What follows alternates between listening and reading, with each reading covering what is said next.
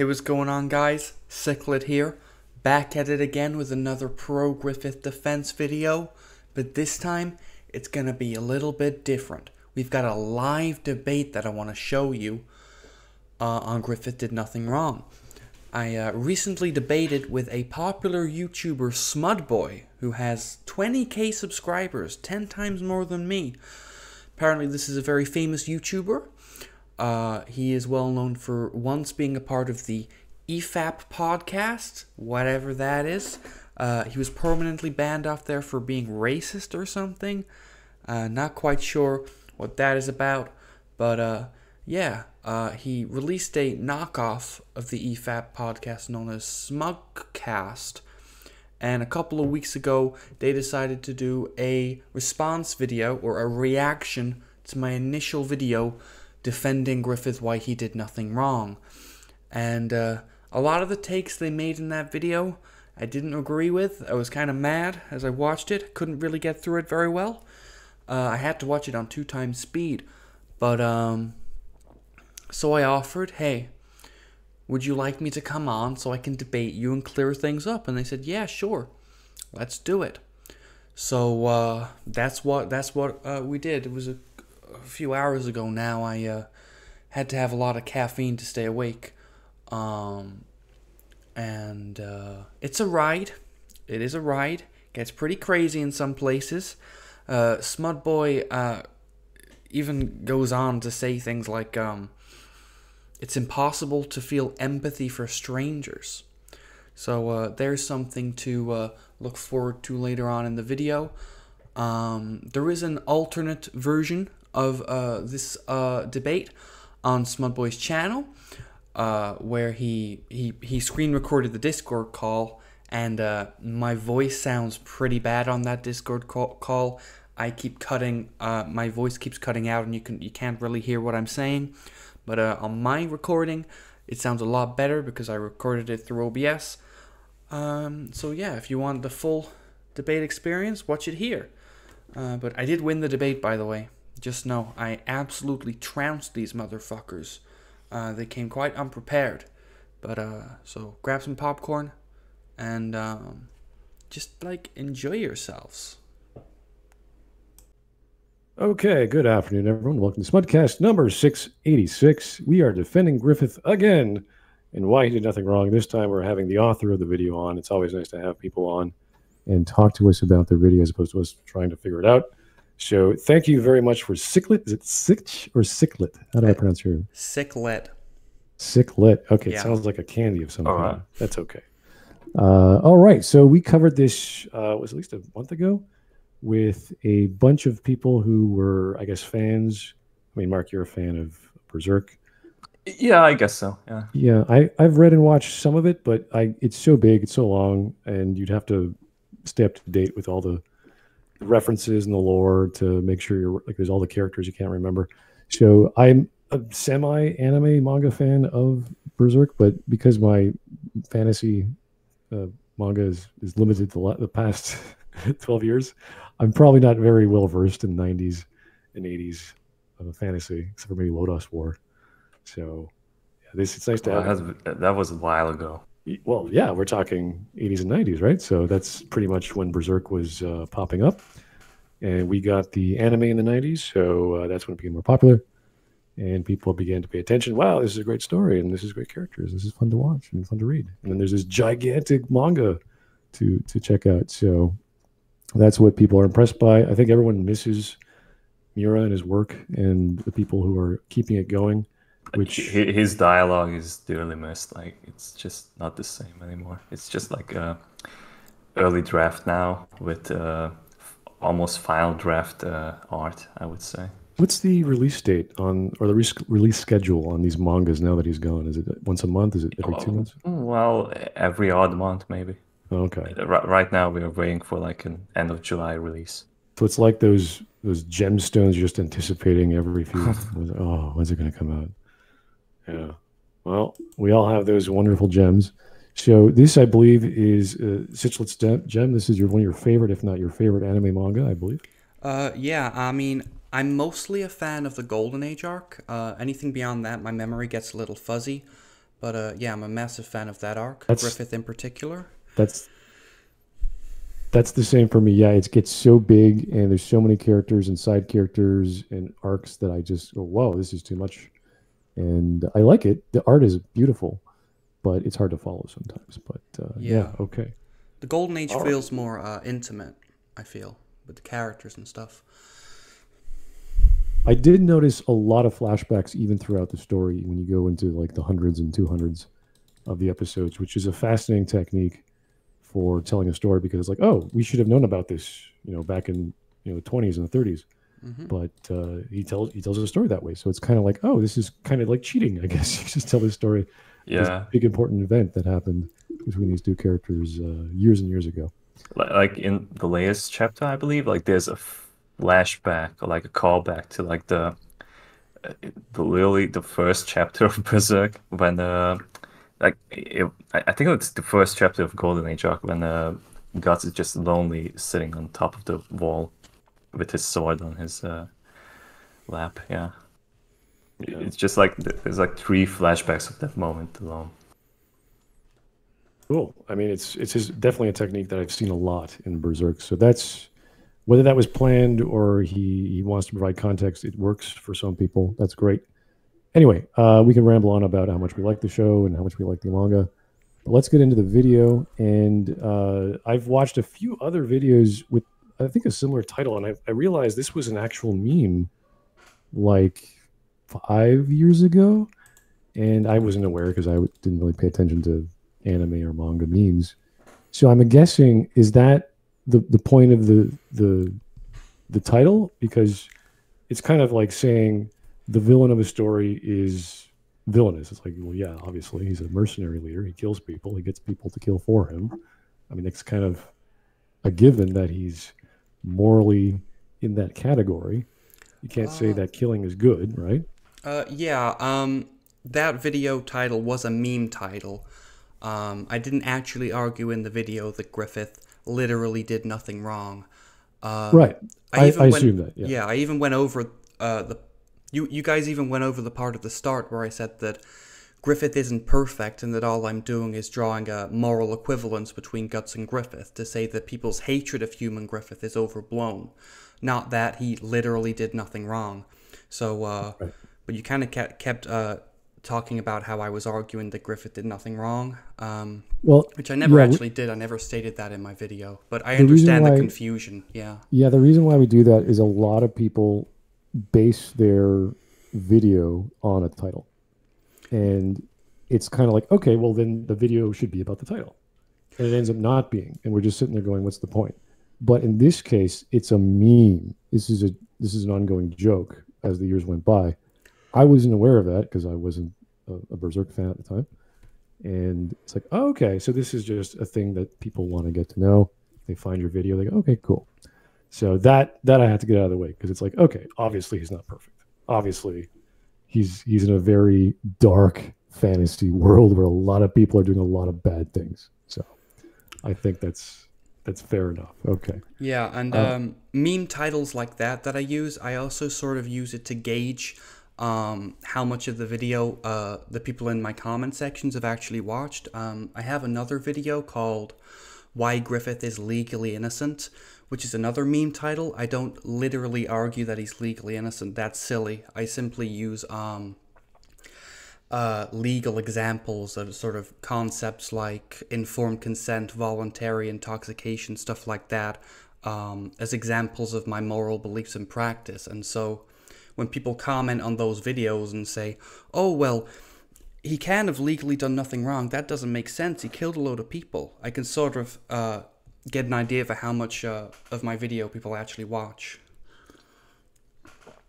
But yeah. Right, and that's that's kind of a, a, very gray area when you're talking about legal areas of, well, to say the states, they have a legal jurisdiction of all different kinds of tariffs and, and God knows what else that is considered good or bad, or sentencing is good or bad, or high or low.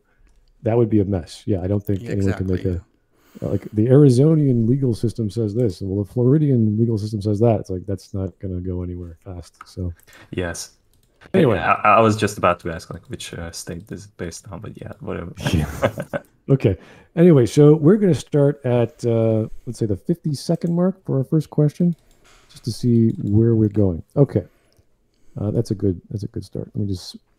This is a very finicky player, so let me just make sure that uh, Watch Together is doing the job. Okay, I'm at 50. There we go. So we're going to hit the play button for a few seconds and see what happens. The appropriate amount of sympathy for what he went through. This caught my eye most recently. Okay, totally screwed up. I apologize. Scroll back a bit.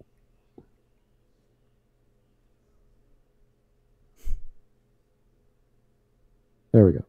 Notice two patterns when it comes to Griffith discourse. One, that no one understands the guy, like at all. And two, that no one's giving him the appropriate amount of sympathy for what he went through. This caught my eye most recently when I made a post on Reddit defending Griffith for his selfless actions throughout the Golden Age arc.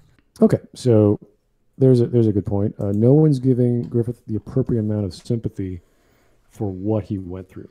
Okay, so what exactly should we be sympathizing with Griffith?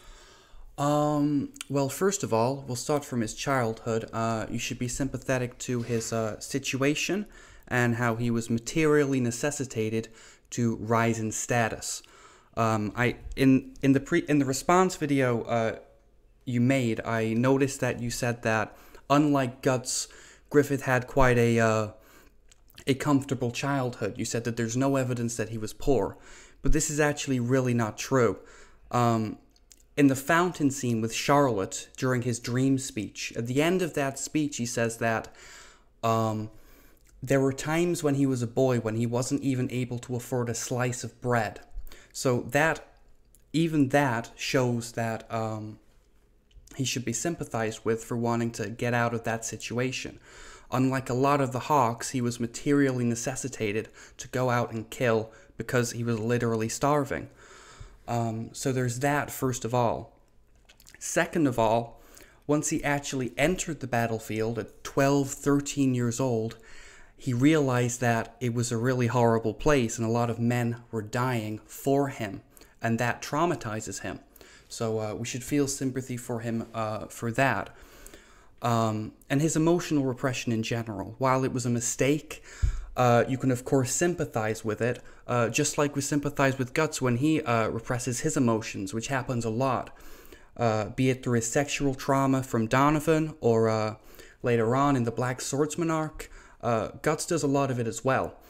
Um, and then third of all, um, we should we should sympathize with him for how he was manipulated in the eclipse. Um, in my previous video, I kind of skimmed over the eclipse because I assumed that uh, no one really cared. Um, they only really care about what uh, he did to Casca because I get a lot of comments saying that they understand what Griffith did and they would do the same in his situation and all that. Um, but yeah, um, since that video, I've come up with a lot uh, stronger arguments as to why Griffith is innocent in terms of the sacrifice at the eclipse. He was manipulated by the God okay. Hand in a really uh, so, and we should feel sympathy for him for that, uh, for the mental there, state he was in at the time. Okay, well, we could. The reason why we feel sympathy towards characters is that we are concerned about them. Now, if you were to say, why don't we empathize with Griffith. Like that would be a very rational thing to do because we do that in general when we hear a story. I think the difference is because people dislike Griffith for his actions, they don't want to feel remorse or care about his upbringing because the results speak for themselves. Okay. So he may have come from a horrible background, he may have had people die for him, but the end result sort of washes that away and says, "Oh, okay, this is not a person worth sympathizing for." Yeah, well, I think people are misinformed about his actions and uh, his level of accountability for said actions. Uh, well, we can get into before that. we get into that. I, I, sorry to interrupt, but like uh, you said that we were arguing that like uh, he wasn't poor. Did, did we actually say that? Uh, yes, I don't know which which one it was, but uh, yeah, you, you did say that. Okay, well, yeah, that that is fair, but like in no way, a shape or form, like Griffith had to go through like to a war zone from like the very day that he was born like it's just incomparable. Like of course, like all, all people in Berserk are having a shitty life unless they are like part of the royalty. That we can even see. I think the Lost Children arc is like a perfect uh, example for that. Like you, you can just like see it from the perspective of like a little poor girl that like gets abused at home and like just runs away from home because like that's just literally hell for her to live. So it's just like the normal peasants, like what kind of life they have when they don't have to participate in war. It's like that. That- that- Yeah. That's all I wanted to say. I mean, how old is Guts when he joins the battlefield? I think he's about he's around six. Six. I'm, I'm Six, guessing yes. Griffith Like was he's around, carrying the sword. Yeah, I'm guessing Griffith was around 12 or 13. Of course, Guts got raped as a nine-year-old. Griffith sort of was sexually abused by Gennon at around 13 or 14, and I know He, he was willing to do that. it was yeah, his you do talk choice about choice, raped. but he was he was 14, um, so he didn't consent. Yes, but like it, it was it was his uh, choice to get sold for sex. Yeah, yes, but but he was he was minor. doing it for money. Yeah, he was a minor though. Absolutely, that it is disgusting. I, absolutely agree with that. But like the fact that he did that to save more people from his army, just, just as you said, yeah, Yeah. that that is exactly what happened. But like, it is disgusting. But Um, it was yeah, his I- choice to get raped, and not Guts was helpless. Yeah, I, I know that, but um, and I'm not suggesting that um, what Griffith went through there was as bad uh, or worse than what Guts went through. Obviously, what Guts went through was worse, but um, uh, it was still bad, and it can still be sympathized with. Um, uh, also, this whole thing with the sort of because he chose to do it, um, therefore it's okay. Um, no, it's not okay. It, it's no, not okay. Okay, yeah, I, I worded it wrong, but um, in terms of the sacrifice at the eclipse, I got the impression that um, because just because he chose to sacrifice his men, therefore he is accountable. That the choice in itself indicates consent, and we don't have to think about how informed uh, that decision was or um, the power dynamic between the accepting party and the offering party. None of that matters because he said yes to the sacrifice. And uh, recently, um, I've I've begun arguing um, that um, informed consent does matter in terms of um, Griffith's agreement to the contract, and because he was manipulated, uh, he's therefore unaccountable for the consequences of the contract.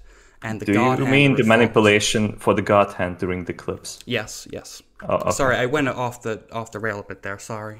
Nah, it's fine. It's fine. Okay, that that was a very straightforward uh, question about why should we sympathize for a character. This is based off the concept of drama, and we either like a character or we don't for whatever reason the individual viewer cares about.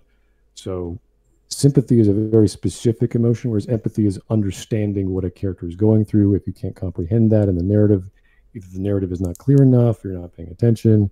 So, I at least hope that people could empathize with the characters and then say I like this character because or I dislike this character because. Yeah, I mean, So- I think that if if you can sympathize with Guts, you must also sympathize with Griffith because they did Well, basically no, no, go no, no, through That's what I just thing. said.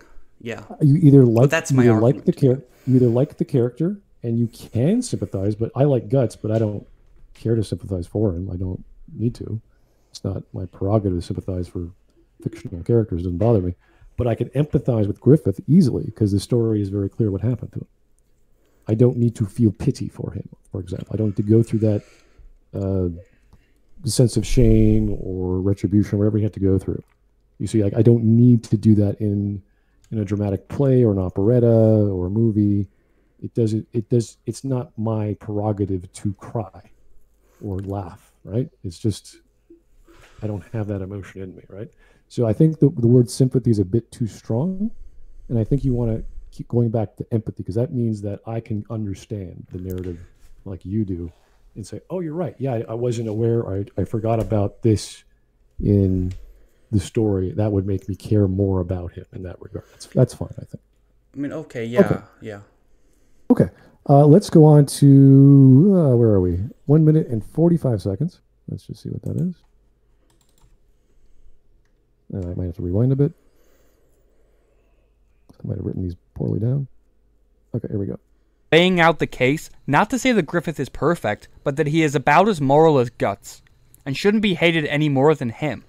Okay, that's interesting. So, why is Griffith as moral as Guts, and why should we like him or dislike him just as much as Guts? Uh, because Guts and Griffith made the same mistakes in terms of emotional repression, and the only difference in the outcome of their characters was pure luck.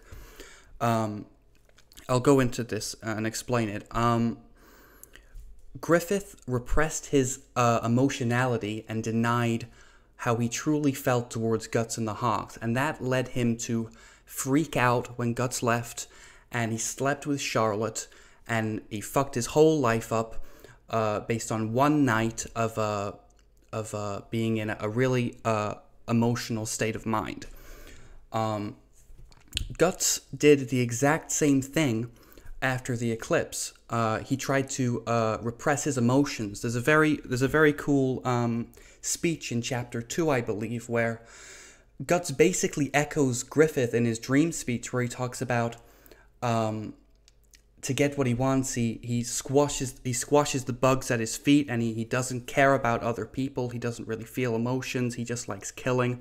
But it's obvious that that's a lie because, of course, It Guts is cares. a lie, indeed. Yeah, Yeah. and that's a parallel to Griffith. Um, Guts uh, represses his trauma in the exact same way, and he abandons Casca for two and a was it two and a half years, you- I believe. Uh, he abandons her in the elf cave because he can't we're deal with it. it. Hello. Uh, sorry, like it cut your voice. Can we change the region? Maybe it can stabilize the connection. Okay, I- one second. Oh. Uh, I'll try. How's Hong Kong? Let's try Hong Kong. Hong Kong, yeah. Hello from Hong Kong. Is there one? Hello. Hello. Hey. Hello. Where was I at before I was cut off? Uh, not not uh, ten seconds after like the reference to uh, chapter two in the manga about Guts uh, faking his emotions. Oh yeah, so that's a parallel to Griffith, and uh, so Griffith uh, Guts represses his trauma after the eclipse, and essentially uh, uh, deals with that by abandoning Casca in the Elf Cave and going off for two and a half years to go and slay monsters. At any point there, Casca could have uh, died. She could have been hurt, and so could Guts and uh, we would sympathize with him uh, if that did happen. So the only difference is uh, luck. Uh, Guts could have very well have uh, suffered the consequences of his emotional repression, um, but he didn't, and he had two and a half years of freedom to contemplate his his problems and his issues and what was going wrong with him, and he had the he had that long to figure out that what he was doing was wrong, and then he was able to go back to Casca. That makes Okay, him so- privileged, and with Okay, with wait a second. Griffith, yeah. Hold on, hold on. Okay, so you're saying morality is based on emotional repression? What? No. I'm saying, well, I'm saying that it's a bad thing to do that. And uh, Okay, yeah, but we're talking made about morality. No, so weren't we morality talking about like- sympathy? What are we talking about? Oh, why? Oh, why? right, Yes, yes. Um. What? Well, what do you think that Griffith did that was uh, immoral that Guts hasn't done? Well, I, before that, I would like to re- respond to like the Guts uh, criticism, which because like, well, yes, he was away two years, but like he gets called out for that by Gullet, the blacksmith, that like uh, he didn't care about the things that like he had around him, and like he just pursued this uh, waged war, like this uh, act of vengeance, because like, well, I don't really understand like what you were going for about like what exactly like he could have done in that cave. He was just like chilling there with Casca and like maybe like try to get her potato brain back to normal, which is impossible. Like they needed to like uh, get some help for that. So uh, they were actively targeted because of the brand. So they he had to go and hunt those apostles to figure out like what is happening.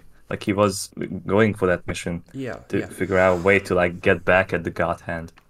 yeah. But, But my my like My point is that Guts had that privilege. He had that amount of time Griffith made one mistake in his entire life in freaking out with the princess, and his life was fucked up irreversibly. He had no way to learn from his mistakes like that. Guts had the privilege of time. They made the same mistake. That, that is not a privilege of being actively haunted by demons and like every single time. Like Yes, I understand. sleep deprived and such things. Yeah, Like, I that- understand that, is that, not a but I'm talking about privilege in terms of uh, having the time to ponder your mistakes, not not in general. Wait a second. Wait a second. So Griffith didn't have one year to hang be hung up from a rope and think about his. yeah, o- whatever his okay, but his was? life was already fucked up by that point. He had he had no still at the he had no wasn't- he had no opportunity to learn from his mistakes and then improve Wait, wait, because wait, he was.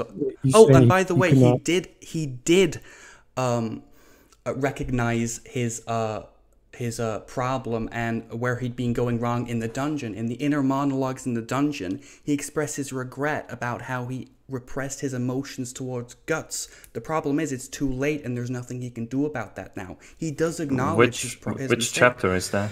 chapter 49 he uh he express when he's listing all of his emotions he express he um he- one of the emotions that he says he's feeling is regret towards guts and the whole the whole um the whole inner monologue is about him finally acknowledging that Guts is the only person who made him forget his dream. He's like, why is this one person um, making me feel so emotional. He's actually acknowledged it now that he's made that mistake. He's he's embraced his emotionality, but it's too late. Does that make sense? I'm reading the chapter while you can carry on, Smart. While Okay. No, I'm just I'm just trying to understand that you're equating morality should be equal, or or saying that it should be equal, because of time to do something. Well, I'm not referring Based- to I'm not referring to morality. Um, I think it, in my video, can we can we go back a bit? Did I say that I said that he Sure, shouldn't sure, be hated any more than him? And people hate characters not just because of morality; they may hate their personalities. You said he you said Griffith was a narcissist and stuff. So you may hate Griffith for.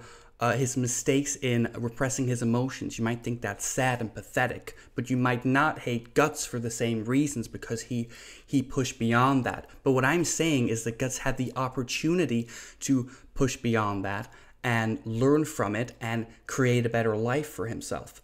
Griffith didn't have that opportunity. It was totally down to luck. And I actually think this is a flaw in the storytelling and Miura's presentation of his themes. Uh, but yeah.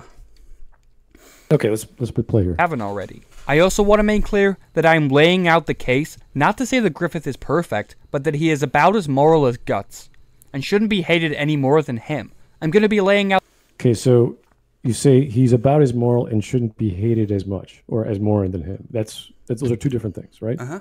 Okay, I I could hate Griffith for raping Casca and killing his team, right? I could. That's totally normal, right? Yep. That's a simple thing to hate for. Fair. Okay, I could also hate someone more because of that than another person wandering around for two years, right? Okay, but I that's not that. what we were comparing. Um, I have What are we comparing? Well, we were just comparing emotional repression between Guts and Griffith, but if you but if you want to Okay, get so- if you want to get into the rape and the sacrifice, that's what my video is about. That's what I'm defending. I'm telling you why you Okay, shouldn't hate him for that. Okay, so we're talking about time then and emotional repression to express that time, and, and a year is too long, or two years is too long, or whatever the case is, right? I'm saying that the um, parallel between Guts and Griffith in terms of emotional repression, you can't use that parallel to draw a moral conclusion or a conclusion um, so, uh, like a a uh, a moral of the story that uh, Griffith is worse because he repressed his emotions. Guts is better because he overcame that. You shouldn't make that. You can't make that conclusion because the context Why? of their situations is uh, Why? fundamentally di- because the context of their situations is different. Griffith didn't have the But- opportunity to improve. But the but the okay, but you said the problem is emotional repression, right? Yeah. They're both doing Yeah, they- the same thing. exactly. So Griffith shouldn't Okay. be hated any more than Guts. There, I'm making. Okay, wait, wait, wait, wait. Yep. We, we've established the problem is emotional repression, right? Okay. Why are they repressing their emotions? One of them is because Guts has been traumatized. He ran away. He's fighting demons. He's being chased by demons. He's doing whatever. He's trying to get by. He's he's. I think he goes back to do the things he's good at, which is swinging a sword. That's his his regular Yes, death, right? that's that's all he's good at. So he goes back to the thing that makes him happy or effective or functional or whatever. It doesn't matter. It doesn't matter the reason. But that's equally as bad as when Griffith represses his emotions when? Like, what am I comparing here? when he represses his emotions uh, on uh, on the snowy hill when Guts tries to leave. Um, if you remember in my last video, when Griffith says "You belong to me," when he snaps back into that persona that he hadn't really uh, adopted for three years by that point, when he snaps back into that, that's him. That's him repressing his true emotions towards Guts. He's snapping back into that persona Okay. as a defense mechanism. Okay, so he's distraught, depressed, whatever. He's feeling something, or if he's depressed, he's feeling nothing. And then he goes to Charlotte to make himself feel better or to gain something out of his loss. He wants to feel better. I always said. f- saw that uh, inappropriate moment as like a way that like he wants uh, power again. Okay, he so wants to it's- feel powerful again. Is your argument, Yeah, argument? he's lost something. is your argument that um, Guts is more justified in uh, repressing his emotions because he went through something worse? Is that is that what you're saying? I'm, I'm saying Griffiths the is- comparison of of emotion of repressing it is indicative of the emotion itself and the situation that led to it. So I could have an emotion about cutting my hands and feel good, but that would be a dumb thing because I'm hurting myself. But for whatever reason, my brain is wired, or I don't know. I, I've been classically conditioning myself to to like pain or something like that. Like that would be morally wrong. Someone should step in and stop me or else I'll be cutting myself and eventually hurting myself. Right. So you can't equate emotional repression, the act itself, the same way someone else is repressing emotion because they have their own conditions, their own environment, their own situations as to why they're doing that. Okay, but they, they are repressing the same kinds of emotions. They're denying their emotionality. They're, They're not the same. Not the same. Like every single time Guts does something that is over the line, he feels regret over it. Like just think about like the Black Swordsman arc, like the end of it, when uh, he was telling the little girl to just kill herself after he killed off the Right. slug count, and and then like he turns around and like he does all of that so like he can give a reason for that poor girl to like live on, just so she can hate him Yeah. and then he starts crying. Like he, he, he hates this life. He hates every single and even when I, I didn't want to like go this ahead when uh, the rape happened between not not the rape but like that uh, moment happened between guts and uh, casca when uh, they were on the road alone and he got uh, taken over by the beast of darkness. Uh, he ah fuck I almost died to say that's my train of thought yeah okay. Okay, well, that, Well, what I, what I was trying to say is, oh, go ahead. Go ahead. that regret also But, like- applies like, to yeah, Griffith. okay, I got it Griffith back. also Uh, so- regrets a lot of the things that he does. And he feels bad about Oh, it. th- Worse where, than where Guts, does in he, fact. where does he display that? Like the lake scene. That that is The- one, but like lake that is scene. very early on in his journey to form an army. Nope, that's not true. Um, there's the lake scene. Is it? Uh, there's the scene after he kidnaps uh, Foss's daughter. Uh, then there's the entire uh, Eclipse uh, vision sequence. That is worrying about his public image. no, it wasn't. He was. Because like he asked Guts, who is like his, well, he is the closest friend he has. Like he, Guts is the only one who knows about the assassination. No one in the Hawks would just accept and like just uh, go with that kind of thing. No, but we already know from the context of the lake scene that he genuinely does feel like he's cruel. He's not only uh, caring about his his uh, self image, um, his image from Guts' perspective. He That, genuinely that is a very that. normal thing for like any kind of person who is leading an army that like he feels like that. So Like, so so he does I'm feel regret just like Guts. He feels bad. very early. Not like No, because Guts. it's- Guts is very different. No, because him saying, "Do you think I'm cruel, Guts?" That shows a continuity from when Guts, from when Griffith was like 14 in the lake scene, all the way up to the Golden Age arc, uh, all the way up to the to the um, to the Queen mini arc, and later on, um, the God Hand show Griffith images of uh, visions of the uh, dead child soldier. So clearly he's still affected by it and still feels bad about it because the God Hand literally used that um, to play on Griffith's empathetic guilt in the in the eclipse. So he never loses yeah, that yeah. empathy in the in the time skip whatsoever. In fact, he Well, becomes that, that was uh, the God Hand pushing him over, yes, because that was probably his last bit of empathy. Just because, like, he didn't understand, like, well, if I allow this, like, can I still look good in front of these people?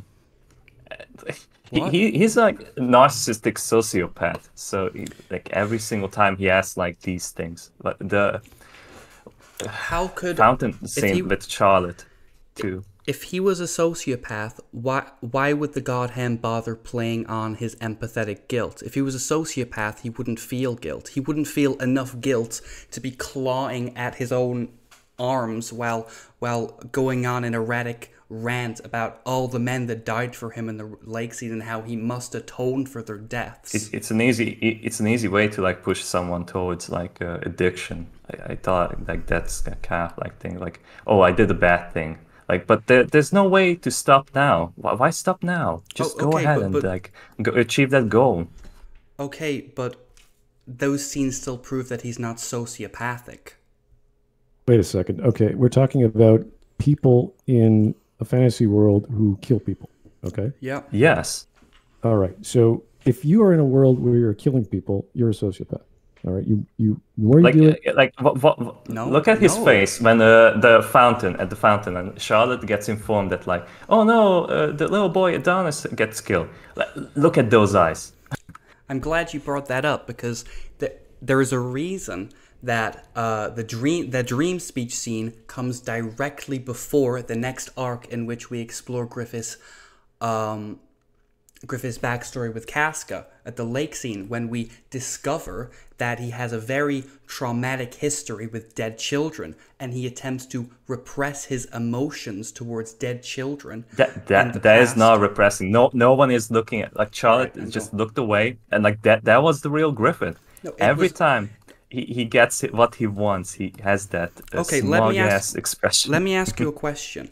How do you know Go that he was smiling specifically at the child dying rather than him ignoring the child dying and simply smiling at the fact that Julius had died? How do you know he was basking in the fact that the child had died? How do you know that he was enjoying that rather than him just ignoring it and compartmentalizing it like we have evidence of him doing in the narrative? because he can't be lying all the time. Like there's no way that he can hide all of his emotions. Well, he does. He can't like in the end. even and even has like he expresses that like and like people would look at that. Well, yeah, the whole point How- of his story what kind of was image that would you have with the guy Griffith? he was ultimately unable to successfully repress his emotions, and that how is how he he ended up in the dungeon scene. He didn't he didn't admit to himself the emotions he was feeling. Well, because he's a narcissist and No, not he because could not he's a accept narcissist, because defeat. he's because he's been traumatized by the deaths of so many soldiers. If he if So he he went on to have that, sexual advances on Wait a second, was wait a a minor second. at Yes. the time. how many how many deaths how many deaths of soldiers are we talking here? tens of thousands, Thousands, thousands. Thousands? Okay. tens of thousands. I- I don't I don't know if you know this, but the more you do something, the less emotionally involved you become, right?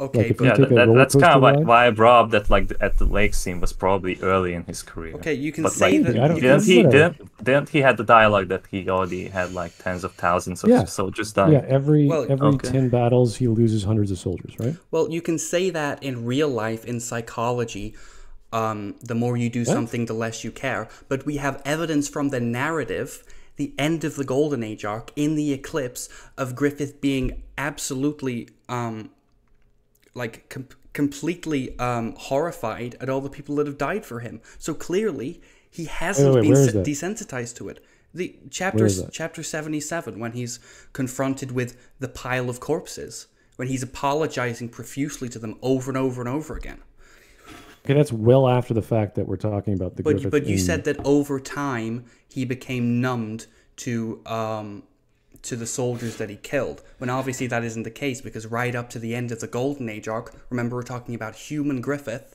right up to that point, Yeah. he was feeling just as much agonizing, empathetic guilt towards his soldiers as he had Okay, ever so this done. is a flashback, right? This is a flashback that not- just pulls up out of nowhere, right? it's not a No, flash. no, this is this is the eclipse, like when. Well, he gets manipulated into uh, by the members of Godhand by showing him uh, images of the corpses, and like then that's they an show the castle, and that you Right. need to build your way through the corpses.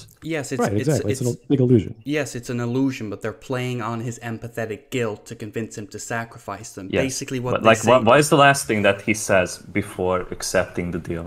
That Guts was the only person the that only made him person forget that made about him his forget dream. his yes. Well, what's Yeah. your point? My, my point is that like ultimately he's asked like, okay, well, do you want this dream? No, okay, like th- then like fuck him, like let's kill all of them.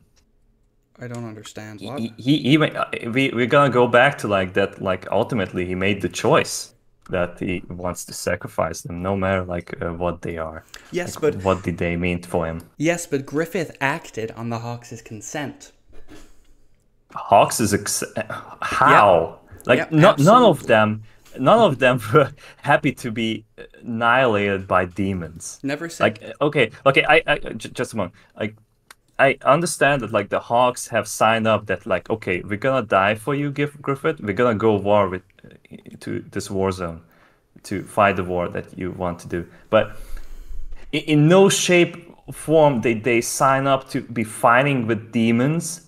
Just gonna just torn them into shreds That's absolutely 100% true. You're right on that.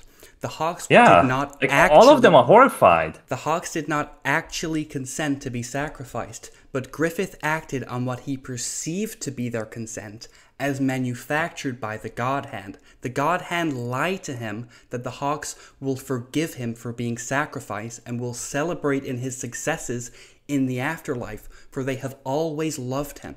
That is what the God Hand tell Griffith. That But- um, even if they are now Okay. crushed by despair, once they realize what Griffith has done, they will forgive him and they will welcome him warmly. So they're they're they're uh, the God Hand are uh, bringing up the the consent of the Hawks because they know that Griffith values the consent of the Hawks in his mind. This this falls completely in line with his characterization in the lake scene. Uh, his justifica- his justification for allowing so many men to die is that um, they chose to fight those battles just as he chose to fight his. That's always been the reason why he um why he feels like it's okay for these people to die and the god hand play into this. Griffith is in a uh, mentally compromised state and the god hand use the fact that they demonstrably dem- demonstrably uh, they demonstrated that they could read minds, and they used this to lie to Griffith that the Hawks would consent to be sacrificed. What they were actually cryptically referring to was the fact that um, when they went into the vortex of souls, um, they would lose their individuality, and as part of the collective subconscious, they would um, help Griffith and uh, cheer him on. Uh, as part of the collective subconscious, which controls the idea of evil, which twists fate. But they didn't tell Griffith that. They were very cryptic Okay. about it. oh okay so like What- you agree that like the god hand is evil Yes.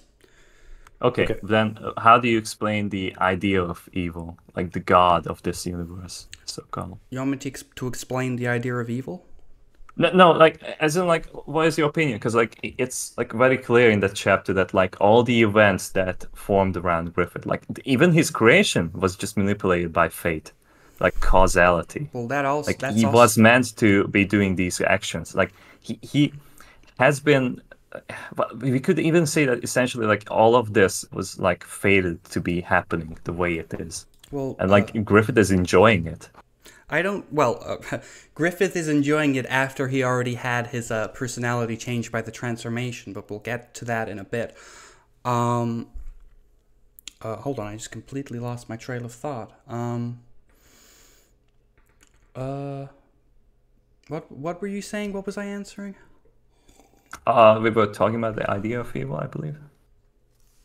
Uh, yeah, um, I don't really care about the fate and causality argument. Um, it is, if anything, it is a defense of Griffith that, um, and the God Hand appealed to fate when they were manipulating him. They said he, they literally, and I quote, "There is no other choice." They appeal to fate and God's will. They tell him that this will happen. They strip him of any real choice, and Griffith has, um, Griffith has no way to know otherwise. He's in a, he's in a hallucinogenic state and he's immortal. Wait, wait, These wait. ideas are beyond his comprehension.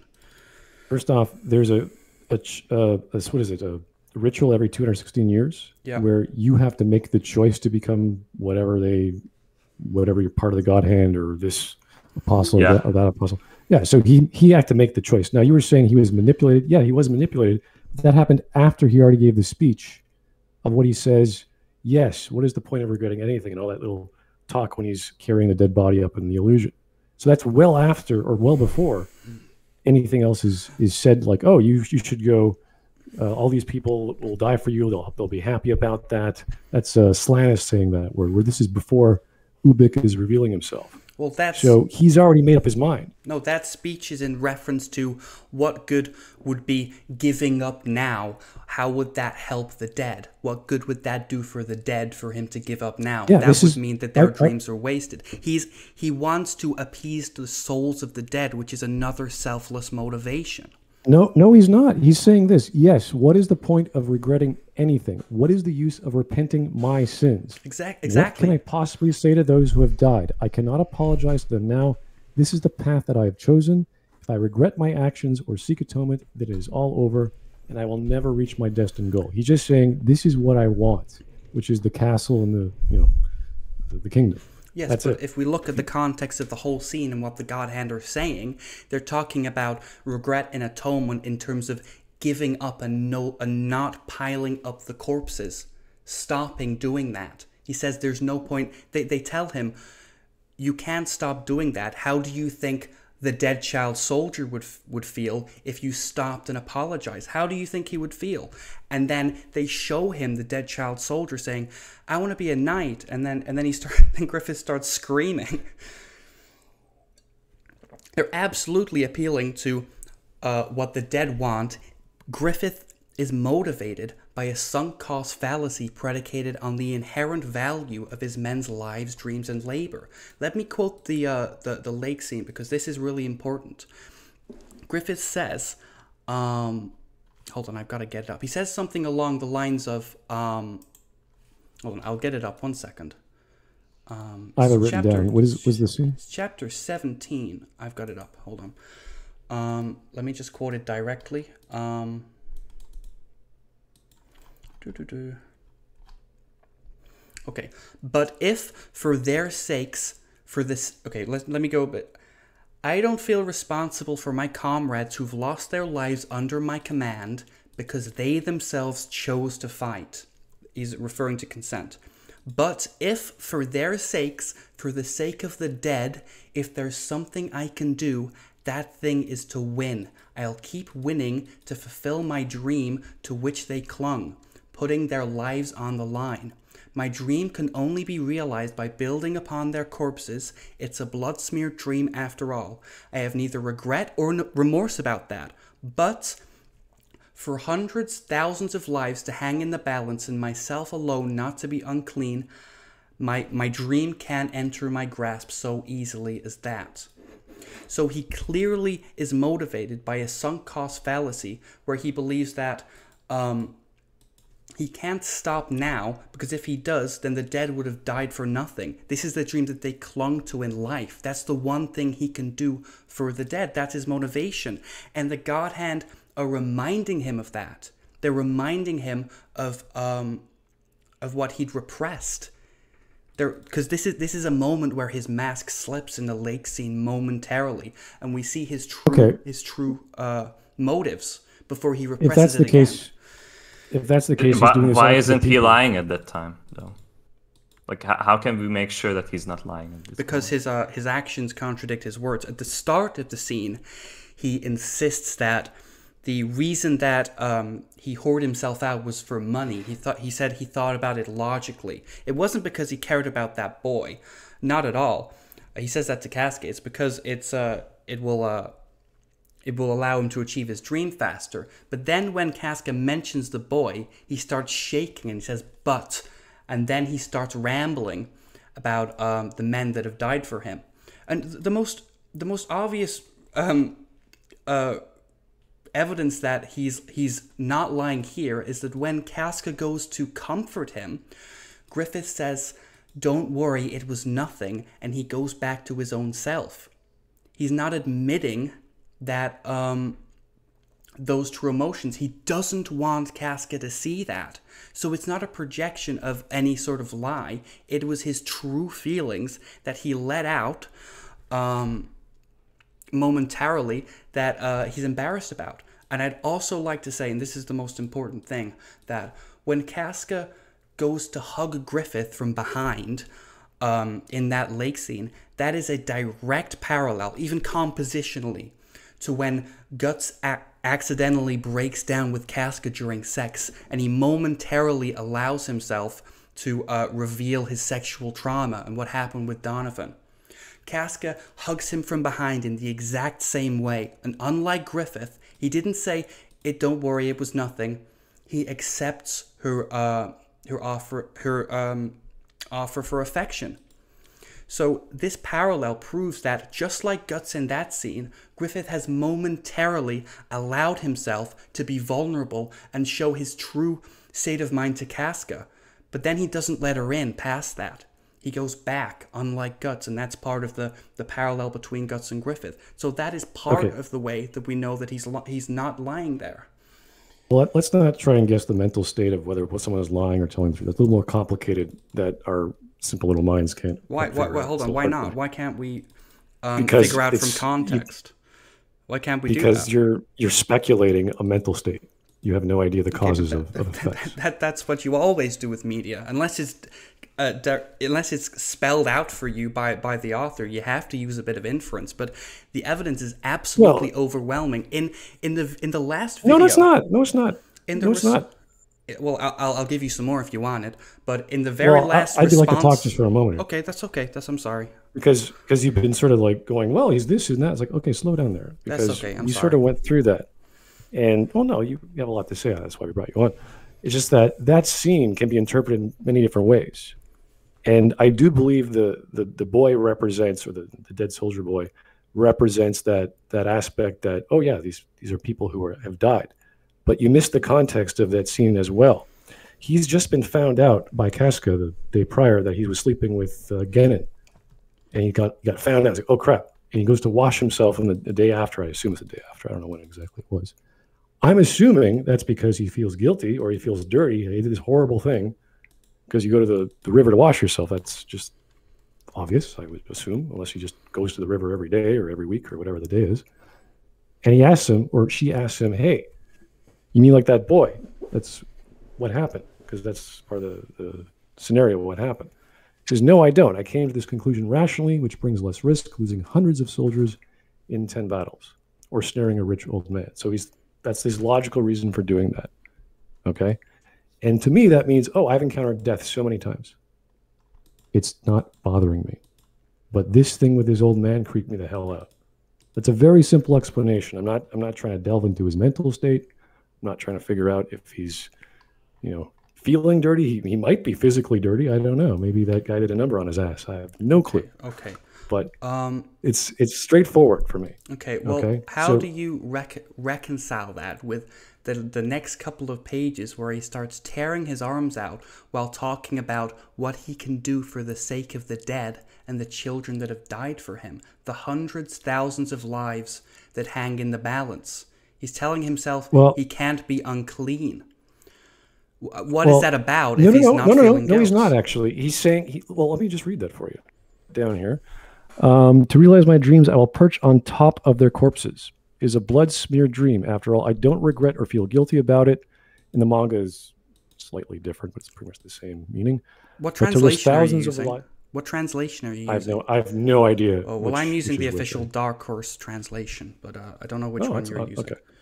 Uh, They, they mean pretty much the same thing. Uh, but to risk thousands of lives while never getting myself dirty, it's not a dream that can be so easily realized. He's not saying I should get my hands dirty.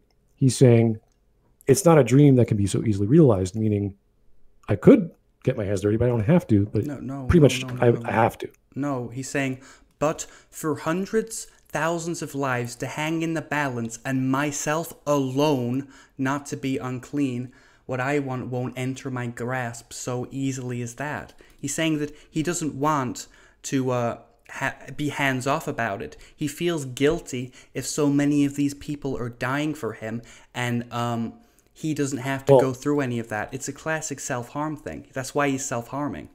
It's part of Well, why no, he's no, no, self harming. He feels guilty about You it. you sell you yeah you feel guilty, but you could feel guilty for something else. You could feel uh, disgusting with himself with having to sleep with Gennon. Okay, then why That is, could be- what's he talking about here then? Why did he bring up the dead? Why did he bother bringing up the dead? Because clearly because he's talking to Casca. Okay, but but we just saw him um, say, "Don't worry, that was nothing." And then in Yeah. the dream speech and everywhere else, he says, "I don't care about my men." So this one moment that he starts talking about his men, he then he then Casca tries to um, comfort him about that, Yeah, and then he says it was nothing. He tries yeah, to because hide she holds that him. because it was Yeah, she's truth. like, "Don't worry about it. I'm fine. Don't worry about it." yeah, when she he- hugs him, he's obviously not telling the truth there. How do you know that? Are you joking? Are you? Listen, he just said it's nothing. Do I have? Is he? Why is he lying? Because he had this soliloquy or be, because big poem um, about?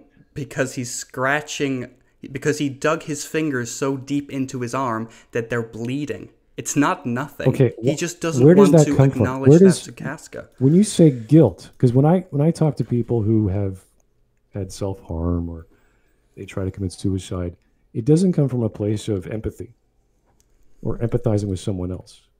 Like, oh, I understand what my I don't know how hundreds, if not thousands, of people are going through. I don't know how he empathizes with that. I don't know how that's even physically possible to get to know someone and emphasize their dreams and blah blah blah. It seems almost impossible. Maybe, it seems more likely. maybe you're not very empathetic. I don't know. No, I've I went through psychology. I I've talked to people who have some serious issues. Uh, I've done a few studies, but You're it's not- saying it's you know, it's not- impossible for a commander to feel immense guilt about a lot of people that they have killed, they've led to death. in in terms of empathy, That's where you're rationalizing. You think a You think you can empathize with command- strangers? not to the point of self harm, no, Really? really. I've never Well, okay, met well, someone he- who tried well, to commit okay, suicide well- or tried to hurt themselves because of other person's problems. I've seen people who are stressed out. I've seen doctors who are stressed out. I don't really I've care what you've seen. This is a story, and he's he's he's he's self harming based uh, uh, because of the dead child soldier that he knew, not a stranger. He's he's he's self harming because he knows Okay. it's his fault that he died. Is is empathy a good or bad thing? a It's- good- what is it? It's a good thing. Is it is it always a good thing? Um, not when it uh gets in the way of logic, but uh yeah. Okay, Generally. so you're right. There are there are there is positive and negative empathy. Negative empathy is not really studied in psychology very well. It is there, but it's not addressed. If empathy is a good thing, we're, we're generally speaking of the general description or definition. If empathy is a good thing, how can it hurt you? because it can make you feel well because empathy allows you to um, uh, walk in someone else's shoes it allows you to feel things other people are feeling and uh, when you have empathy you understand how other people might be suffering and if you then empathy is a rationalization of what someone's going through. You're not, that sympathy is where you actually feel what someone is going Okay, through. well, you feel I- what they're going through. No that's not true that's affective empathy there's a difference between cognitive and affective empathy cognitive empathy is where you understand that someone might be sad affective empathy is where you feel it And- Okay, well now we're getting into nuances of what empathy is. Then, okay, well, it's a saying semantic I argument. can- He feels bad, okay, because he knows that someone was hurt and it's his fault. Well, he no, feels no. guilty. Either empathy is a positive emotion, or it's a negative emotion, or it's something in between. Like, what is it? Well, it depends on the you feel- context. Well, okay, I'm a nice person. I empathize with everyone I come across, even the downtrodden, even the ones who commit suicide. And some days I get stressed out because I deal with so many people, and I gotta take a break. Okay. Now, some people break down. Some nurses I've I've seen uh, just can't take it. They, they just collapse. Okay. I haven't met anyone who's self harmed themselves. Maybe they're just more mature, or maybe. But a lot of kids that uh, came into the clinic were were depressed, like they felt nothing, and to feel something, they try to commit suicide, which is a little different than than having negative emotion. But they always came from a place that was bad, like something bad happened to them, or you know, someone like some family problem or some relative or that sort of thing. It always came from a place of negativity, never from a positive world. So they never were empathetic towards a family member who had a loss or a friend who died. Not to the point of them wanting to hurt themselves. I mean, it's, it's possible. Okay, was it their fault? Was it their fault that a family member died? Have you have No, you no, have you met all. well have you met someone uh, where someone else has died and that person knows it's their fault and they feel so bad about it that they uh, self harm? Like I don't I really don't care about your um about your personal experience. No, no, it's Like, not. no it's not the exact experience I'm referring to. I'm talking about empathy being a positive or negative thing. Because if it's negative, if you have a negative emotion or a negative experience that causes something bad, then self harm can occur, and sometimes it's so extreme you go to depression, and then that occurs. I've never encountered uh, like a well, there's brothers, there's uh, nurses, and some some journalists that that were like so sensitive that they hurt themselves. I've never encountered that. Only when stress was a thing. Only when stress was a factor. Like a doctor was too stressed out, and he uh, ODs on or barbiturates or whatever. That that is where I'm seeing that from. Because if you if you're coming from something negative, you get negative out. If you come from a place of caring and sensitivity, unless you're overburdened, then like I, I can't see someone self harming as a result of that. To me, this is in this scene, he's feeling disgust. He's feeling a little bit of guilt, probably. I don't know exactly. I'm trying to guess what emotion that would equate to, but I can't really figure out what's in his mind, right? I really don't understand your uh, positive negative empathy dichotomy thing that's going on here. No, it's not a dichotomy. It's just if empathy is good, good things come from it. If I can understand what's going through someone's G- scenario and it's a bad thing, that does not cause me in some sort of weird way to hurt myself. It does Now- if you are the reason they are suffering and you can feel that. If you if you as an individual are the reason for that person suffering Okay. and you empathize with them, you are the problem and you feel Okay, so- self-hatred for that and you so can can the god can the well can the god hand see what's in his in Griffith's mind or soul or whatever? Yes, they can. They uh they show him a uh a they show him visions in the eclipse where they basically lay out his entire history and past motivations, and then they use the fact that they can read minds to uh inf- inform their lie that the Hawks consented as well. Okay, so Griffith, like once they have the, the, the whole thing with where he's walking up to the castle with the girl or the, the soldier boy, he says, "Was that an illusion or an illusion?" And Ubik says, "Not an illusion. Is the reality in your consciousness, reaching for the castle in the heavens, stacking bodies to reach the highest summit in your destiny, stepping on thousands of your comrades' bo- bodies, and tens of thousands of bodies your comrades paved for you in turn." And then he says, "All while disregarding who or what they were." you trampled your way here. Now, maybe the translation is different, or I have a different version of that. To me, that says you didn't care. You didn't care who they were. You didn't care what they were. Let me go to the chapter. Sure, it's the whole. It's the whole passage. It's the whole you know creepy scene with all the god hand, and they're they're, they're showing the one with guts was interesting. That Over was thousands of your comrades' corpses, over tens of thousands of corpses they in turn ama- uh, amassed. Over those corpses with no identities, no names, you have trampled as you came, with but one desire in mind. There is no indication that he doesn't care here. Uh, I don't know which translation you're using, but it's uh, widely accepted that the Dark Horse official translation is the most accurate. Uh, you might be using an older translation that I've looked at before, and they, they have a lot of dodgy translations. But um, the the the is the entire anime. the entire context oh, is okay, still well, the it's same. anime. It's not the This- same. this is the anime, It's not the same because they add little lines of dialogue that aren't uh, accurate. Um, the entire last chapter was them showing him bodies of the people he he had killed and him crying about that.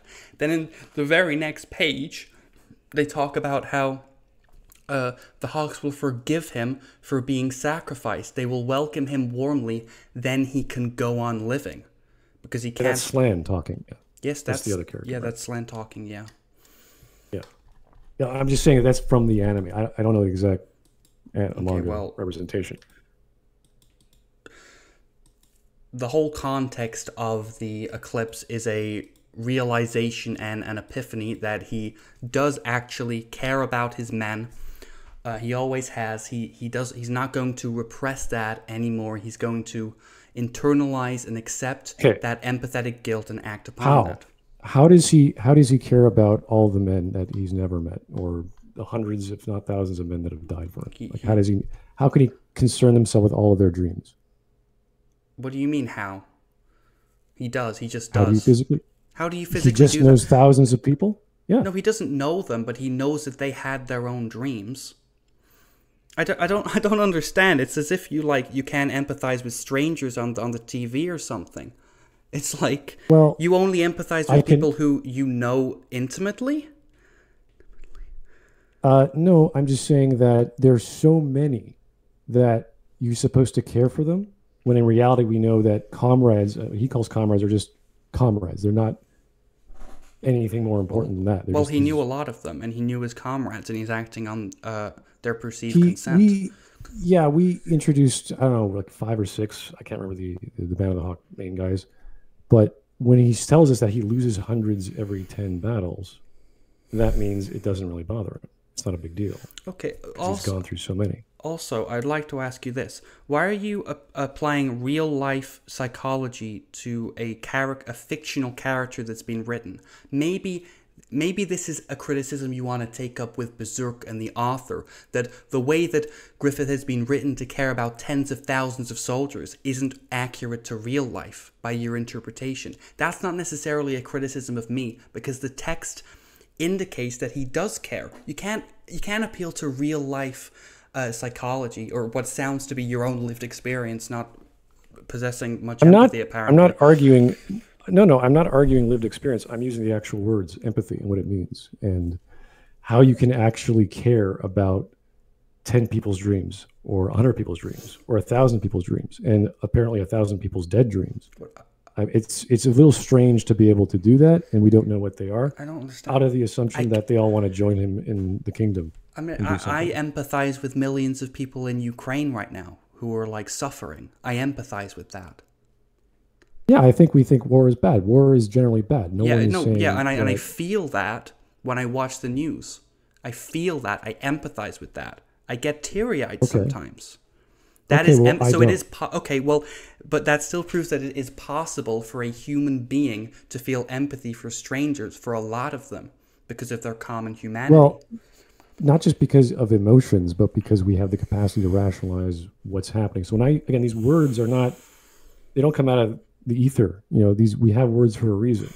Like you were saying, uh, sociopathy or sociopath, like that has a, a psychological backing. Like we have to go back to the definition. When I, when we say it's a narcissist, we know he's a narcissist. We have the definition. Okay, had it what, for a what's your what's now. your definition of empathy then?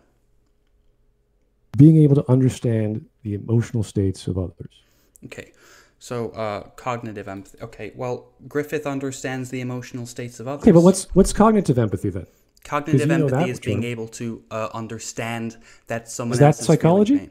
Yeah, that's Is psychology. that psychology? There's a distinction Okay, so between. you're using your psychology. So what's wrong with you using your psychology and I can't use mine? Let's let's let's argue the definitions then. Cognitive. Well, no, we're not going into semantics. We're just the saying the word talking about? empathy, and that's accepted. You accepted yours. Okay. We, I accepted. It's fine. Okay, well, what what are you arguing then? This weird semantic argument. How are you undermining anything that I've said? I don't understand what you're doing. What are you talking Well, about?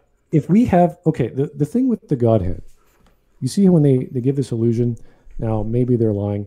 Whenever you have a story where the God, the Deus Ex pops up, he says, Okay, this is like well, not necessarily like the writer on board moment, but they are telling you what's what. Okay, this is how the world works.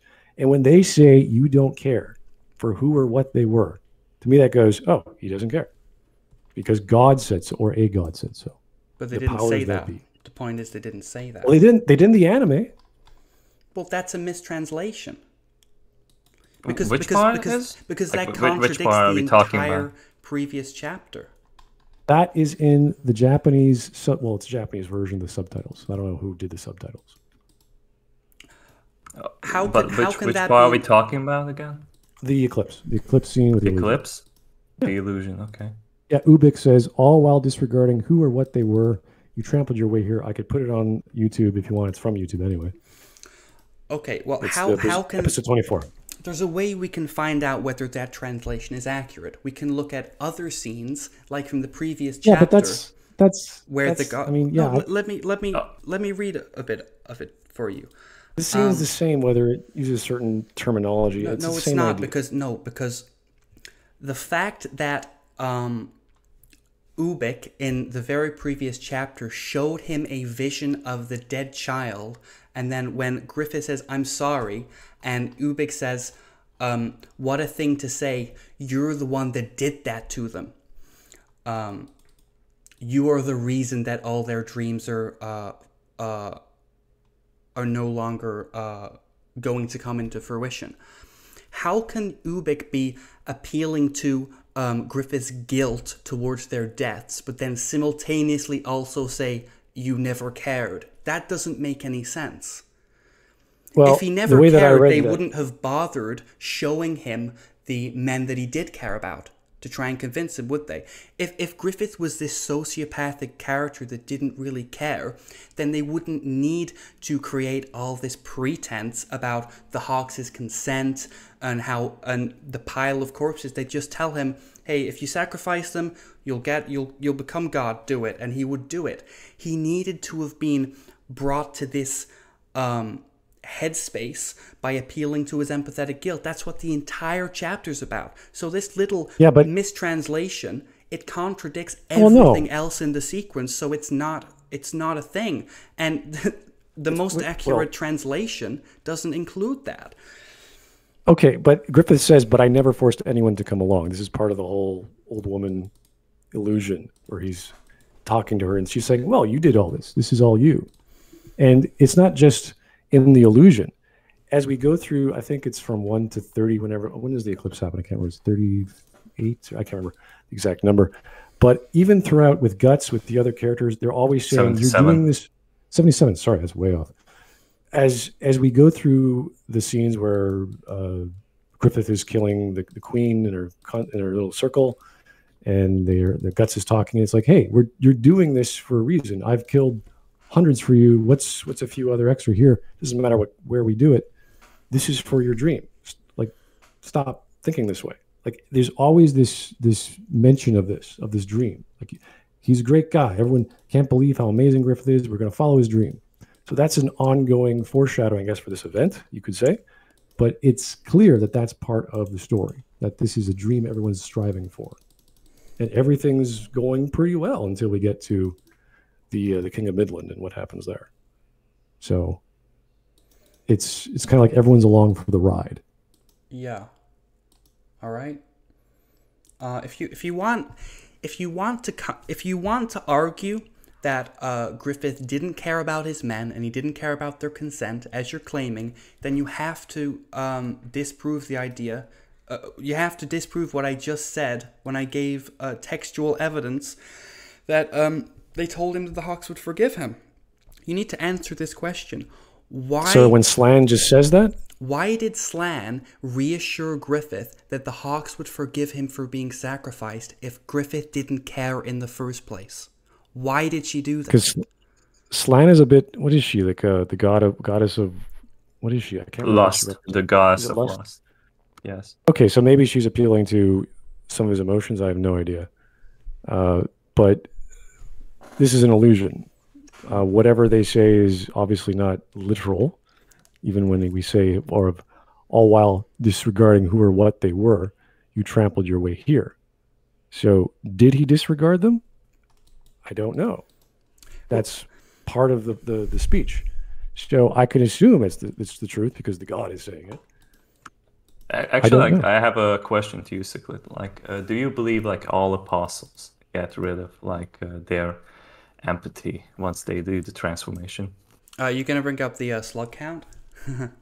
Yes, Okay, well I because like uh, it- God hand or whatnot, they, they are essentially just having the same transformation. That's good. I'm, I'm so glad you brought that up because that's what my next video is going to be about. I'm, I'm really into this now. Okay, Um, but like, h- how do you explain that? the, um, the slug count lost some of his empathy. Um, Oh, the- okay. yes, in the um, hold on, let me go to it. Uh, because I, I've written this all down. Um.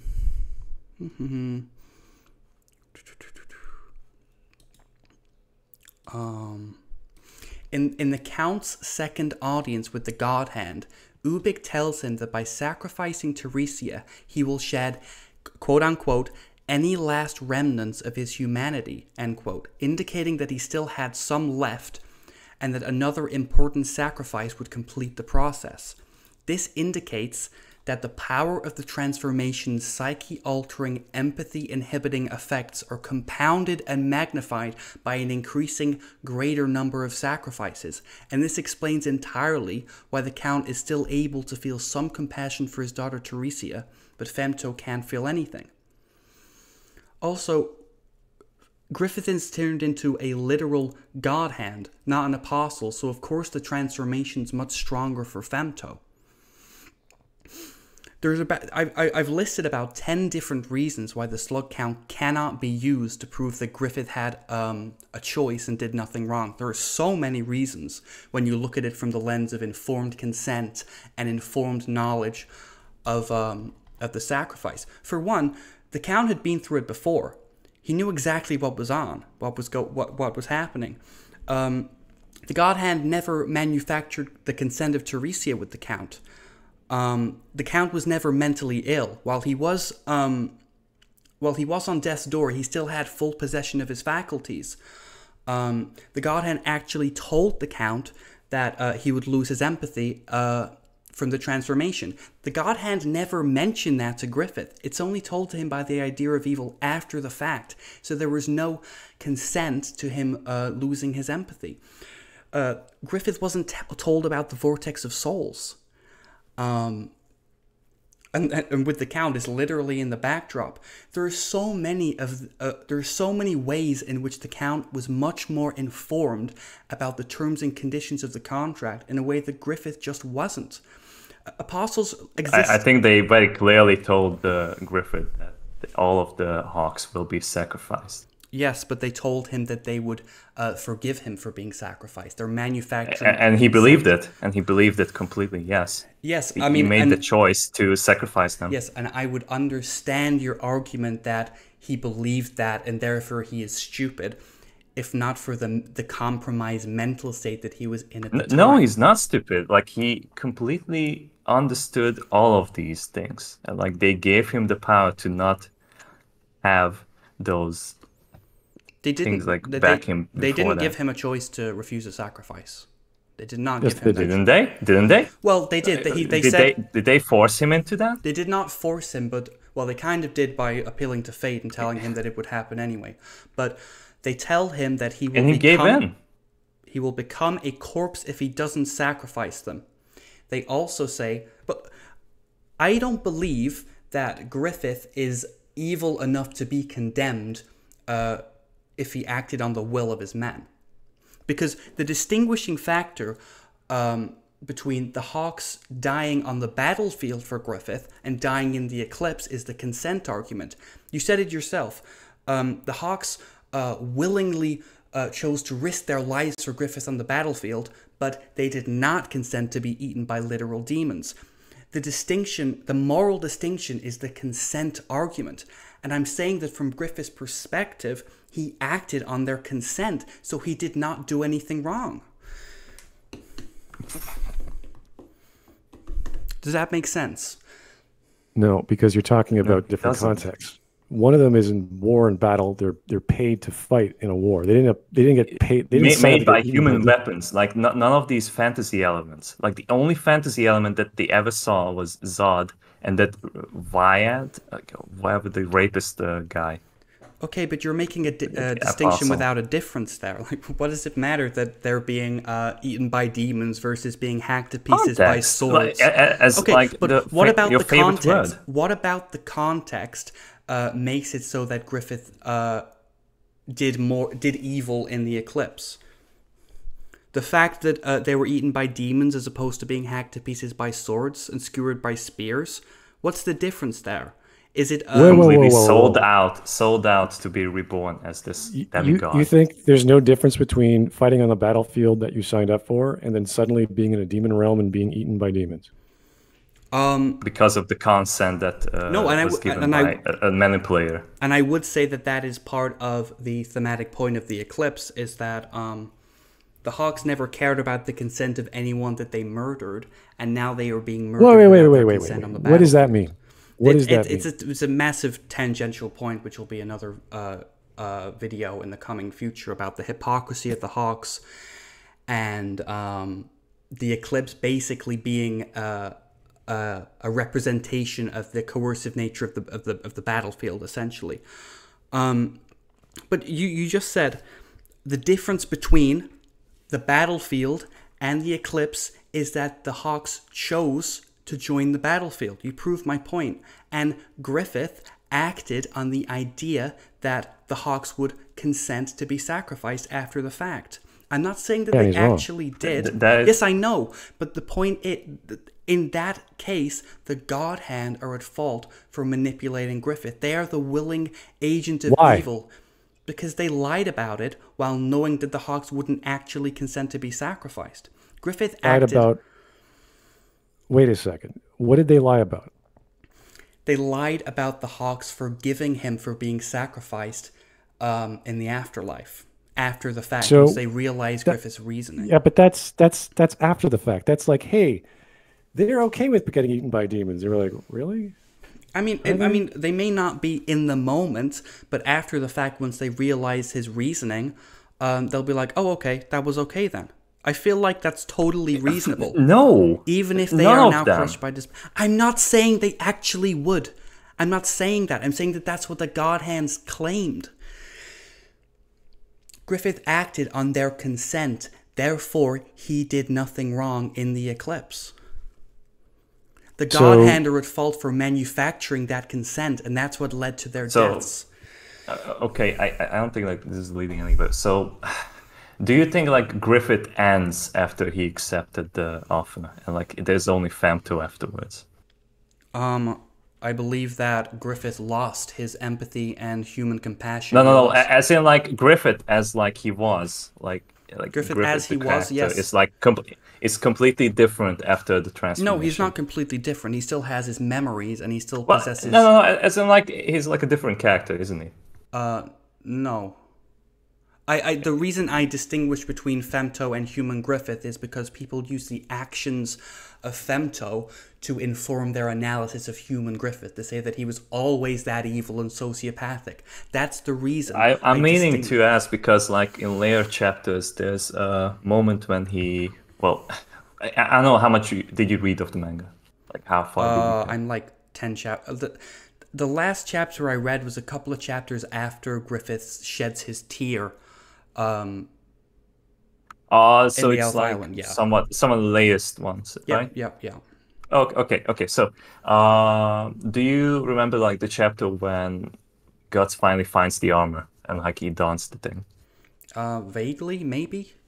Uh, Okay, like the there's an old witch in the magical forest that uh, the demons finally invaded, Yeah. and then uh, the entire tree is on fire, and then Zod appears, and the uh, Guts ask him that like, "Hey, uh, whose orders are these?" And then he just says like, "Yeah, the only master of the Inhumans, Griffith." Yeah. So why would Griffith order the execution? Like, why would uh, yeah, yeah, yeah, yeah, yeah, yeah. This Griffith was, like burn uh, someone alive? yeah, this is a problem with um my initial video that I I must admit. Um, I didn't um, explicitly point out that, I, that when I used the, the the name Femto, I was also referring to post transformation Griffith. Um, okay, okay, that, that's why I wanted to yeah, ask. the transformation cause him to lose his um, human compassion. And of course, regardless of what form he was in after that point, he still lacked that. He was still the same character, basically. But yeah, I, I thought that was like perfectly in line with the character that like he was displaying in the Golden Age, like when he set uh, flames on the Queen and, but the and all queen, the cons- but the queen had done something wrong. The queen had tried to murder him beforehand. He was uh, Well, well, Oh, hold up, sure, though. yeah. Hold up, hold up. On that in that scenario, he had no idea the queen was doing anything. that's not He true. planned to kill. He planned to kill the queen a week before any of the events at the. No, no, no, no, ball no, no, no. That's that's not true at all. Um, uh, Griffith. he blackmailed the Foss. yeah, he did because he he That, that- that's how he Didn't- got the info. No, what he what he sent to Foss was um, a letter. It was a contract that uh, the Queen had signed with Foss, saying we're going to plan to kill Griffith. Griffith sent the Count that letter that he had stolen from uh, Foss to prove that he knew about the um, about the plan to poison him. Griffith only acted once he got that um, that documentation proving that uh, the Queen was about to murder him.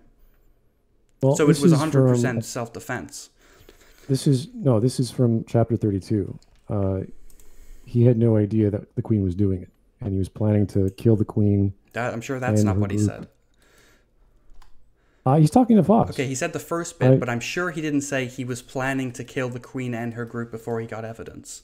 I'm sure he didn't say that because once Well- he had the suspicion, he then went out of his way to get that documentation from Foss to It prove took- it, it because he needed the- that it took the- proof to be able to uh, to to to feel justified in going through with that, right? It took the captors a week to scope out the schedule of Foss's daughter, so that means at least a week was was planned in in advance. So Okay, but- he says to Foss, "I had no idea that the, the queen was trying to, to poison me." Until he found that documentation, the blood oath he confiscated. Right. So he planned this out before the queen was going to do anything. Okay, but what's the timeline of uh when the Queen plans to uh to do it? What's the timeline of uh Griffith? Oh, I don't know exactly. Well, I you don't know, so it. you're you're acting as if um he planned to kill uh the Queen, and then like uh the day before the the fire, um he got his proof, or she she decided to actually do it. He had his suspicion based on the way Foss was acting.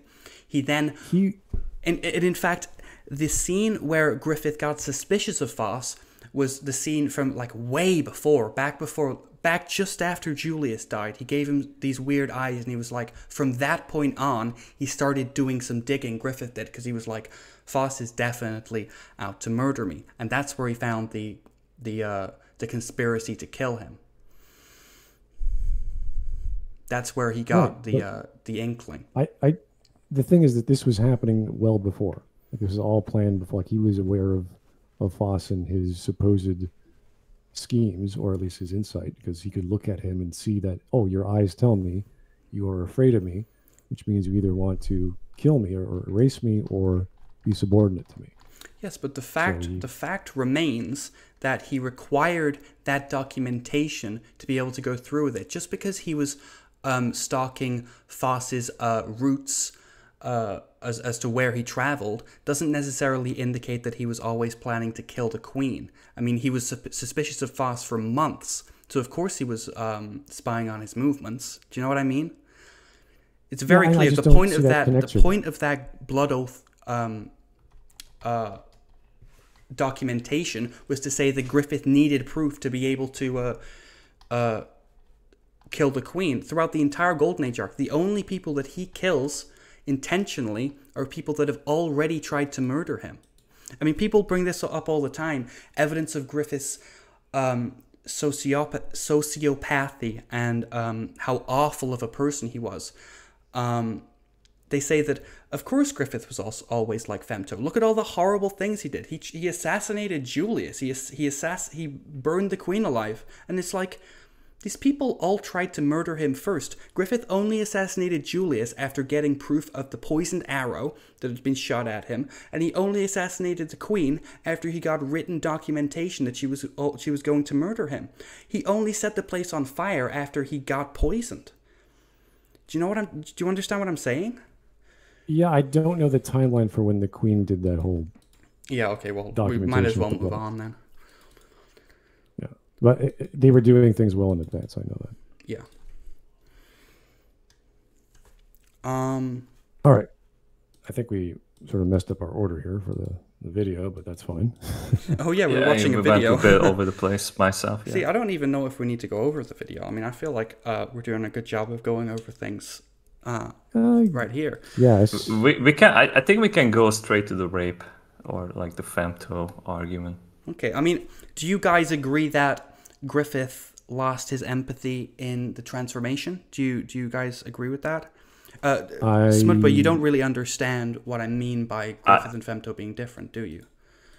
I I I still believe that like this. This is a headcanon that like he has this empathy. It's more like pity that like he was feeling towards that kid. And I think like it's like a bit of a mistake from Miura to do that scene. But I always saw it like that was like his last bit of like humanity. That like he was just like very young. That that but we have been over this point already. Uh I, I, like he quite certainly like lost his humanity when he turned uh, to that god hand figure but ultimately he made the choice i'm still standing by that point But the choice Uh, doesn't matter because it was not informed. You have to care about informed consent. yes we have gone through that like half an hour Well, if you don't care about informed consent, I don't know what to tell you.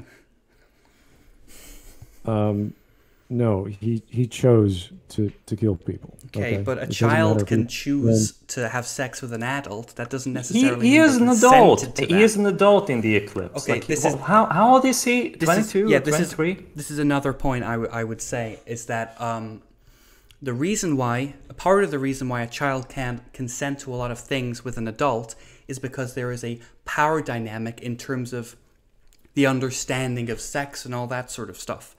There's a there is a How there does is a this play into this right now well I'll I'll I'll, I'll get to it. is this about the lake scene or No, no, no, no, no, no, no. In the eclipse. And I would say that the power dynamic between the God Hand and Griffith is more extreme, more severe, more coercive than that between an adult and an unknowing minor. Let me defend that point really quick. Griffith is a suicidal, emaciated, um, a suicidal, emaciated man in a hallucinogenic state being confronted with beings and concepts beyond his comprehension. The God Hand are seemingly omniscient, eldritch beings who would been shown to be able to read minds. That dynamic, in terms of informed knowledge, uh, and just just that power dynamic in general, is so is so wide that um, any any um, that you can't argue that his choice was uh, informed or that he consented because um, the accepting party and the offering party weren't standing on equal footing, so it's too coercive to be considered irrelevant. valid. Why is They- that They're not coercing them into doing. They're not coercing them into doing They did anything. coerce- They're saying, they- "Look, they did. They. look at this crazy illusion I'm giving you, and all the choices you made led up to here."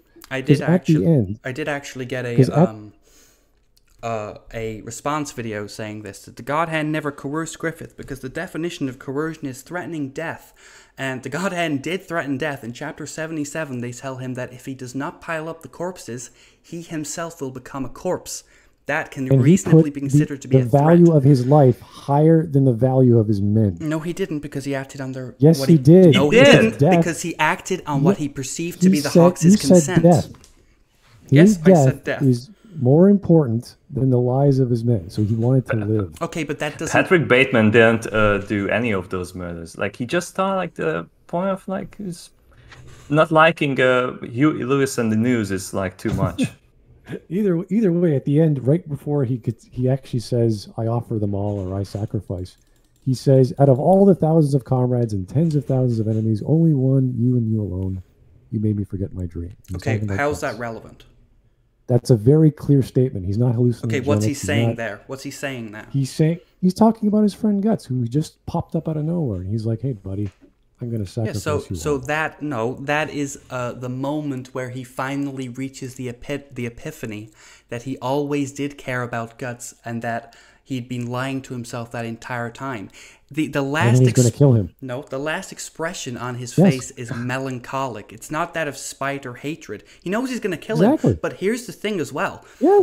In in the you. previous chapter, the God Hand show an out of context memory of Guts saying, "Hey, it's okay to do what you're doing right now because that's for your dream." So they're manufacturing Guts's consent as well. They're tell- That is that is a reference, not a, a direct reference, but the chapter 32 with Guts is talking about. Yes, yes, I end- know, and, after- and, and they, they put it out of context uh, because they know that the Griffith same message. values It's- what Guts thinks. Because it's the same message that he gave in the chapter 32. yes, but the point is that So did they lie to him? Ain't this part of the path to Yes, they your did, dream? because- you yes. believe that, don't you? yes, Yeah, that, that that's the one. Yeah. yes, but the point is they are using Guts's words because they know that Griffith still cares about what Guts thinks and what Guts uh, believes in. So Yeah, Griffith- that- that's why G- Griffith is a great character because like he isn't completely like he- he still had like some feelings for Okay, guts. but again, yeah. it doesn't matter that he killed them in and of itself because he was led to believe that they would forgive him and that they would No, consent that, after you're, the you're fact. putting way too much onus on that one paragraph by Slan. It's very important. It's the Yeah, but last so is thing the they rest of it. Well, the, the, so the, is the rest, the rest rest of of it it. doesn't contradict that. That's the last thing they say to Griffith before he goes through with the sacrifice. why doesn't it contradict it? Because because it doesn't. Saying uh, you should sacrifice these people doesn't contradict his reasoning for doing that. Well, there she's adding on top of like, well, if you kill these people, they're going to forgive you. That's something Okay, new. so That's we new know information. So we know that he did care about their consent. They wouldn't have bothered bringing it up if he didn't. that could give him a little warm, fuzzy feeling. Oh, they care about me. Oh, they're going to forgive me if I kill them. Isn't that cute? Or he's completely blitzed and he has no idea what the hell she's saying. He's like, oh, that's great. They're they're going to make me feel good after I become whatever. So no, the, all this, all the data matters to what the God Hand is saying. And none of the data part, contradicts the fact that they did manufacture the Hawks' consent, and the Hawks' consent I- is the this- this distinguishing is- factor morally. This is this is getting a little silly. Consent to what? To kill people? Uh, yeah, well, consents to be sacrificed so, that Griffith can then go on to achieve his dream to ensure that their efforts weren't for nothing. Again, I go back to the lake That's scene. great. That's Yes. That's great. I, I don't care how great they sell the, the the idea of becoming a god or or this or that. He still sacrifices. He knows the cost. He's Okay, like, oh, I just have to kill my men. At that Great. at that point, you have to go back to the mens rea. I know that you talked about that in your. I don't care video. about mens rea. Well, you did in your last. about You did in the response video. Well, not- well, right now this is not a law issue, right? We're just talking. it's not a law issue; it's a morality issue. A lot of law is based. is well, a yes, law issue. but a lot of law is based on moral principles. Um, Griffith requires the criminal intent, the selfish. Yes, he does. The selfish. No, he does. Why does he need criminal If we're intent going to choose? if we're going to make the normative statement that Griffith was selfish in sacrificing, I'm not making the legal argument. I'm making the moral Then argument. why are you using a I- legal term? because because because law is based on morality. I'm using legal uh, examples in practice to um, substantiate my moral arguments. If it's like it's like me talking about the moral concept of voluntary inhibition by using the legal example. I'm just using an example to show how it works. I'm still making the moral argument. Yeah, but this is an insight into his mind, and gods are showing him what it is he's been doing with his life. In the context of, let's say, the chapter 32 or other chapters saying, This is your dream, you should follow it. That's great. You should follow your dream. By the way, your dream costs all these people to ritualistically kill them so you could become a god. This is kind of like Miura going, You know what? The, the story has been going pretty well for Band of the Hawk. They've been getting bigger and bigger and better and there's one little hiccup. Everything falls apart. They lose 80% of their men over the course of a year because Griffith is all hung up and they don't know what to do. I'm assuming he cared about all their dreams that, you know, the people who left or died during that one hour, one year he was tied up. And all of a sudden he's like, hey, you want to get supercharged? You want to become awesome again? He's like, okay, what do I have to do? Kill these people. But it's okay because they'll be okay with it. It's no different from what it, how it's always been. The Hawks have always. it is very different. The context is I know, but I'm, that's what the. God Hand is telling him. I know that the actual context is different. I'm talking about from Griffith's perspective, his motivation. That um, it's how it's always been. The Hawks have always um, been willing to His risk their lives is for Griffith and, and his dream. His dream has never changed. His motivation has never changed. Okay, what? Yeah, I know. He's always he's always been motivated by empathetic guilt. Yeah. No, no, What no. He's your- always motivated for his dream. He wants to have a And the, and the reason he wants to achieve that dream so strongly is because so many people have invested themselves into it. We go back there's to no, the sunk there's no evidence of that. I know you made a mention of That's the that's him the uh, having some sort of utopia or some sort of workers' paradise. I don't know what the hell the term was used. Where is that in the, in the video? I can't remember. It was for people.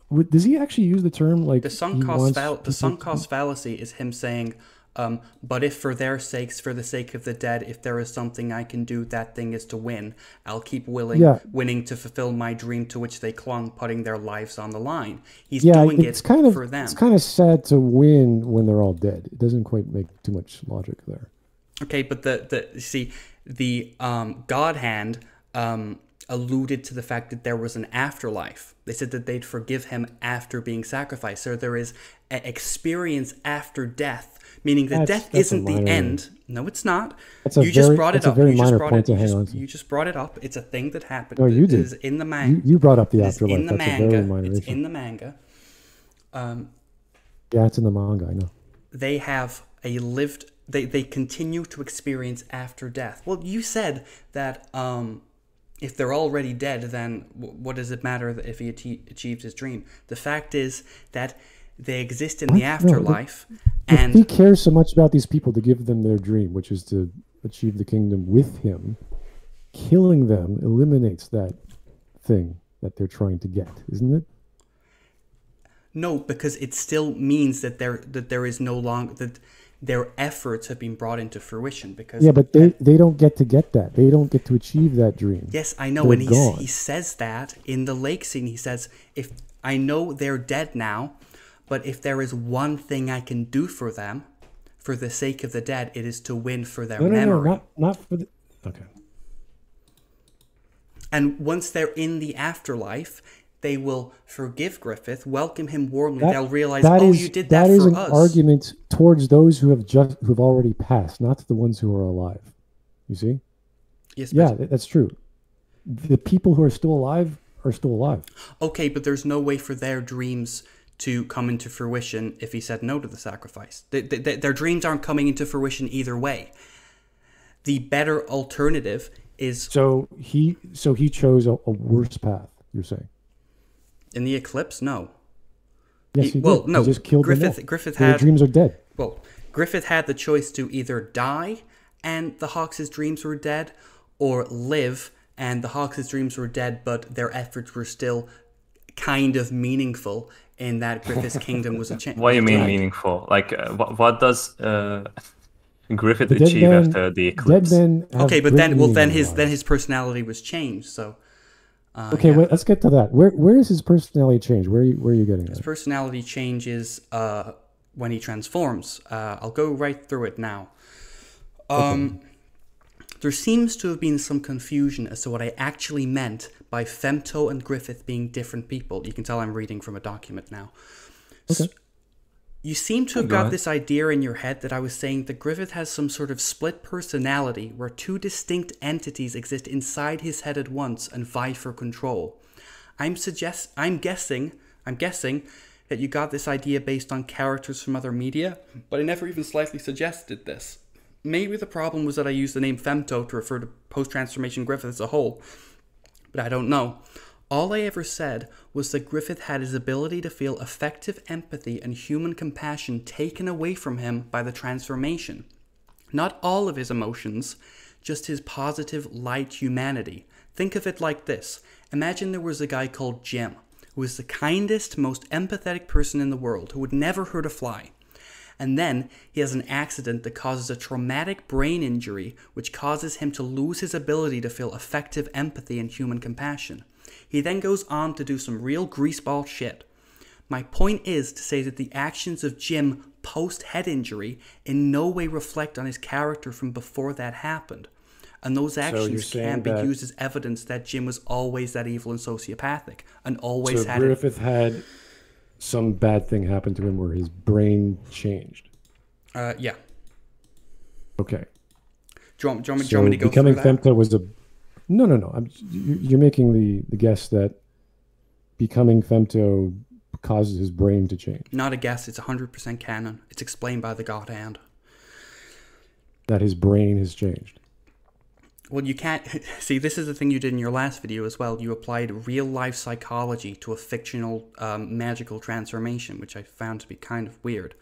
Um, Well, we need a basis of understanding the, the magical system of, that Miura puts together. You- You You're can't kind of basing all your empathy uh, arguments on reality, so it's. no, I'm not. can we use I'm- I'm psychology basing it part on- for that? I'm basing it on how Griffith acted. Um, Yeah, if Oh, you're if oh, you're saying okay. femto is evil, right, or bad, or whatever, he's he's lost his empathy. Usually, that's a result of some sort of dramatic occurrence, like a bad thing. Like you don't go from, um, let's say, rags to riches because he's like a emaciated skeleton and he turns into this, I don't know, caped superhuman, whatever that is.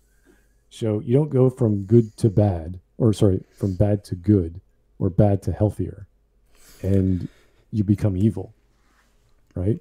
Yes, not how yes, that works. Yes, just- I know that's the true. opposite. And a lot of people okay. make the argument that when Griffith's personality changed in the transformation, that was natural character development, and he just decided that he didn't care.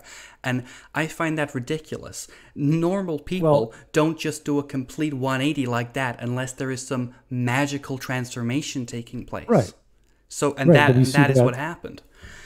We see that later He was on in, still uh, human when he made the choice. Oh, Right, what did obviously. he? What did? How, what did he choose? He, he chose to sacrifice all his Okay, men. but what did he choose to become? His true self, Well- Femto. Well, you're making the argument right now that Griffith chose to lose his empathy, and that is why he's accountable for losing his Yes. empathy, right? Okay, so wh- if you want to prove this, you need to point out specifically where the God Hand told him that by saying yes to the sacrifice, he would lose his human compassion. What if if he if This he is only chose this to? thing. Wait, wait. Yeah, like he, he, they told him that like sacrifice them. Okay, they're gonna die. He knows that they're gonna die, and like, and then they lied to him, and he accepted it, even though he has been living the life that he did. Like constant manipulators, politicians, all of that, and he he just like went with that. How? Okay, but, but- The the better answer is that, or the simpler answer is he's always been this way, and he hasn't realized it yet. And it takes this this I don't know magical god people to say, listen, this is what you are. You've always killed people. You've always got them killed for you, and they've killed people for you. You manipulate. You you get what you want. You you flip out when you don't get what you want. Kind of sounding like a narcissist right now. If we can go through the list, but we don't have to. Hey, I'm going to supercharge you to do all the things you've always wanted to do, and then some. But these magical super god people do not tell him that this is how he's always been. They tell him in the Yes, they do. Yes, they do. They tell him Yes, in the. they do. tell him in Yes. the. They tell him. Yes. They tell him. No. They tell him. no, they don't. They look, tell. look at the illusion. Look at the illusion. They they say I can. Like, the entire description with the old lady. She's constantly saying, "You did this. This yes, because you." she's playing on his empathetic guilt. The the I don't care whether he's empathetic or not. No, but we're talking about a loss of human compassion. The god. We're talking about transforming into a god creature. Yes, don't care about and losing. State, that's what we're talking state. about. We're talking about him losing his compassion. That's what we're talking about. You, are then under said the assumption he has compassion. Let's assume he doesn't. Okay. Let's assume he has zero emotion. We, we don't know what's in his mind. It's all one big mask. Okay. He's making a mask. He puts another one on. He cuts his arms. He puts another one on. It's all a game to him. He's very manipulative. Okay. We don't know what's inside him. Anyone who looks at Griffith, even Casca, has no idea if he's depressed. When when Foss looks at him, he has no. He thought Foss. Uh, what, what did Foss think when he first saw him? Uh, that uh, he had no idea about the, the death of Adonis, and it turns out he did. He just he was so stoic and freaking well, not stoic. I, usually we relate that to uh, narcissism, reality, uh, personality disorder, where they don't feel anything. And he read him wrong. Mr. Foss, the guy who's like the master of of whatever whatever his job is, he he deals with people all the time. So let's assume there's there's whatever mental state we have no clue. Okay. And then the gods come in and they snap their fingers and say, Hey guys, let's look at your mind. Oh look, you're you're a psychopath.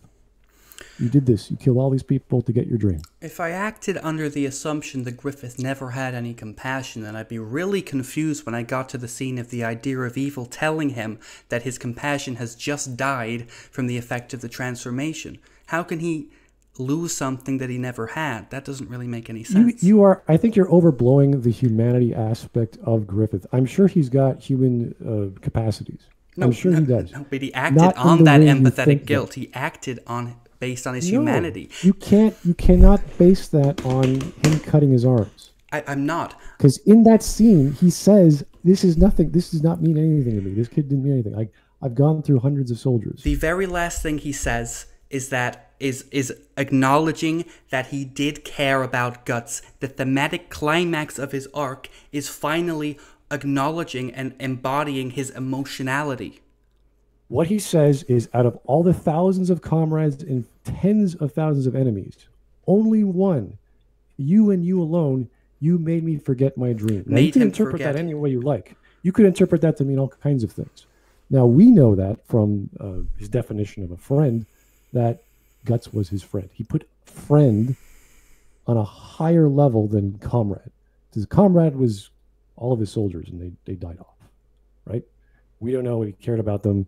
We don't know if he made that up. We're not sure. It doesn't really matter. But Guts was his friend. He was the equal he was seeking for, and that was the whole speech at the top of the um, the fountain at, during the was it the party? I can't remember the whatever the, scene was The party. with Charlotte. Yeah, and, and Guts and Casca are like, "Oh my god!"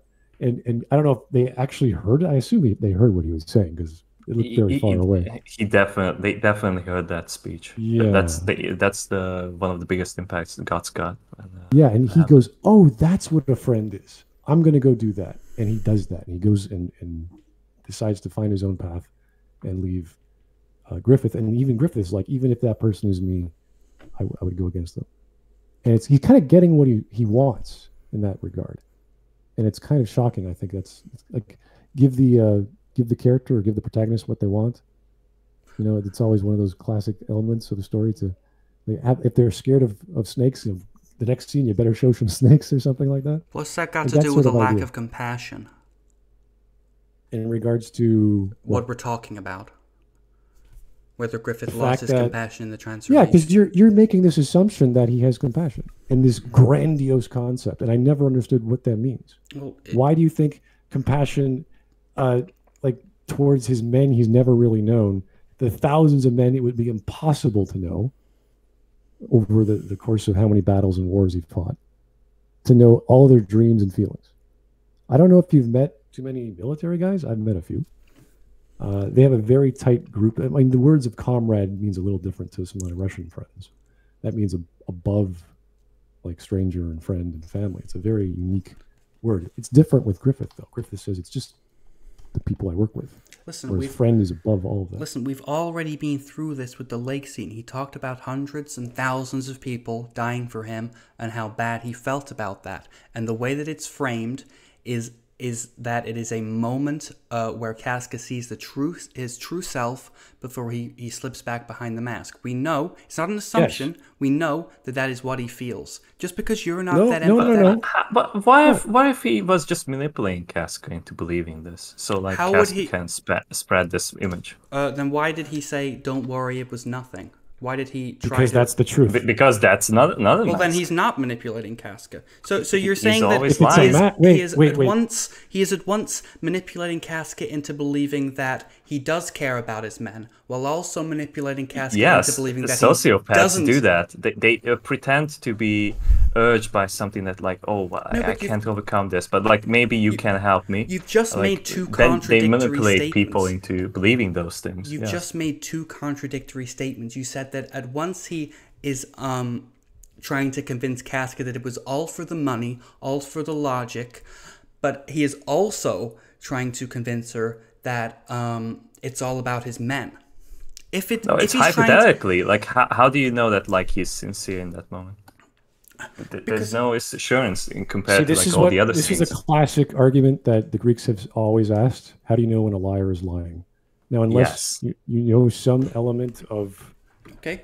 Uh, I don't know conversational ethics, Okay, where yeah. you can like look at a person's eyes and see their their uh, galvanic skin response. You know, you, all these factors in. You, you might be able to figure out that way.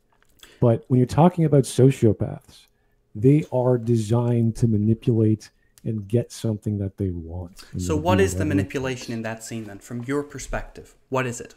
Well, he, he was caught by Casca by sleeping with Gennon, right? He got he knows that. She knows that. Right. She comes by. What is the first thing he say? Oh, it feels so nice. Why don't you join me? Well, oh, you think I'm gross or or just dirty or disgusting or whatever it was because he knows what she saw. So he's trying to go, okay, you know, I'm, let me play this up. How can I get her on my side? Because we know she likes him. So he's going to play, he's going to get some low hanging fruit. How do we get Casca to like him again or, or more? I'm going to play the victim. I'm going to feel and look so cra Who I want again? This goes back to empathy or your idea of empathy. Who is so empathetic they hurt themselves? Is it someone who cares so much? No, it's someone who is super depressed and sad and wants to end it. If they're Okay. going to dig their fingernails into their triceps and scratch, that is a lot of effort to do that. Right. Instead, he's putting on a show. He wants her comfort. He wants her to appeal to his emotions. Oh, she's going to like me more. Like the, gonna- the other thing that like this supports. I'm sorry to interrupt, Smud, but because right after that, like he barely cares about Casca. Like there's uh, like a few moments, like the one when they uh, he sends reinforcements to save Guts and her. But like the, these can be uh, interpreted as a strategic moment. no. Because if you lose Guts and Casca, like the one of the two best soldiers he has in the army, then who, who's gonna command them? The rest or do the killing. Like Gut- Guts is definitely has like the highest kill count in that group, but even afterwards, like during like the fever dream he has before initiating the eclipse, like the only reason he has uh, he's envisioning that like Casca is the only one that's taking care of him is that like because like that was like initially like what he was envisioning that like yeah if I accept like this kind of life then I'm just a cripple and Casca is just taking care of me that that's how he saw it Yeah, this this is we judge people not by what they say or how they talk. I mean, we could understand their character a bit. We judge them. We judge them by their actions. And True, that's again, my I want to stress this. Yeah, and I and I want to stress this. He is a classic narcissist. Okay. Now, you don't have to read the, the DSM five to figure that out. we but can get you we can get we can get into that because I actually wrote a whole section on that. But let's go based on what you have claimed that Griffith is manipulating Casca to try and uh, by by putting on this show of being vulnerable and sad to try and manipulate her for whatever reason. If that's the case, why for the, the first half of the scene does he outright deny that he feels anything? Why does he then at the end of the at the end of the scene try and tell her to forget about that? Why in- because uh, on, he's on, trying to on, on, feed her mind into like these ideas Wow, that playing like oh I'm troubled. I I, I am, can be endangered by these emotions that I have. Wow, real 5D chess from Griffith. Why yes! if that's the case, if that if if Griffith's motivate if Griffith if Griffith's manipulation of Casca manifests as him trying to get her to think that he is a vulnerable person, why in every other scene in the seer in the in the Golden Age arc basically is he trying to claim the opposite to characters? Why in the dream speech is he trying to claim that he doesn't give a shit That is men? bullshit. Like he's just the, the typical scumbag he is. Like he's just like trying to like like half truths is like he's uh, spreading. Like maybe some of those are his ideas, but ultimately he just wants the pussy. he, he just wants Charlotte because like that that's the way to the kingdom. He- he- It doesn't matter like what, what he says there because like it's all just to manipulate this person into believing that. But that's Like, kind of- but that's kind of the he only expect evidence. that like Guts will listen to that speech and like the have those things unfold. No, that that was probably just a mistake by him. So Like, if, if uh, you know that if you know that he was bullshitting in that speech, then what evidence do you have to suggest that he only views his men as pawns and isn't that compassionate? Because that's the main thing people latch on to. How can Griffith? How can Griffith's manipulation be um, trying to um, show his vulnerability, his vulnerable side? If at the start of his relationship with Because Guts, that's he- what narcissists do. Okay, but then why at the start of his relationship with Guts did he outright deny caring about Guts or any of his men in any capacity at every single moment that is brought up? He saves Guts. Well, why did he? Why did? Why did he let Guts join his team? Because when they killed Guts, killed one of his his teammates, I think. Or Three, his, three of them. Because because Really? Griffith liked I- Guts and because Guts treated Griffith as an equal, and it was an escape from the heavy burden of having to be around people that basically viewed him as a messiah and uh, looked up to him. so he sees. deeply So he sees Guts and- as valuable. Yes, uh, as an equal friend. But what he claims is that No, he not not yet. Not yet. No, Okay, that's let's too let's early. go, let's go to the see him as a start. Let's go to the start. In that in that scene, he claims that Guts belongs to him. When Guts, when Griffith saves Guts at the rear guard, he saves Guts is in a sticky situation. Griffith rides to the rear guard and saves Guts, almost dying in the process. Griffith tells Guts, um, the reason I did that was because um, you are a valuable soldier to me. You're a valuable, useful tool for me getting my own kingdom. That is what he wants Guts to think. He wants Guts to think that he doesn't care about him, that he only views him as a tool. But then three years later, when he's when uh, he risks his life to save Zod again, uh, sorry, he risks his life uh, to save Guts from Zod. Yeah. This time, when Guts asks, he's entirely unwilling to say that. He says, "Guts, do I even need a reason? Stop, stop, stop bothering me." He's unwilling to tell Guts the same thing that he did before because he genuinely cares about him, but he's still unwilling to acknowledge the fact that he cares. He's kind of in this middle space where he just he doesn't want to he doesn't want to acknowledge any feelings. Yeah, any it's real it's like he doesn't care. Yeah, it's like he doesn't care If he didn't care, why didn't he say the same thing he said a year ago? because he still doesn't care. Like, what's I don't Oh, see no, but if he didn't, if he explain didn't care, that well, then why is this Yeah. parallel being brought up in the first place? He well, why does he save Casca as well when she gets stuck? Because when did he- Casca and Guts are his two biggest pawns. They're two right. biggest Here's the thing. to use. Here's the th- here's the thing. If you're going to claim that uh, when he saves Guts and Casca, he is doing so uh, by calculating what was most valuable to his dream in that moment, surely the most valuable thing would be to preserve his own life. Why would he ever risk his life for a tool that is only useful to him if he is alive and able to use that tool to attain his kingdom? Casca says because he's Genin. uh, he's a master strategist and manipulator. That's God. why. But like uh, the strategy is playing into this. Everyone who comes across Griffith is either dead, is is entranced by him. He's always one step ahead of the, the aristocracy, as we saw with uh, with Julius.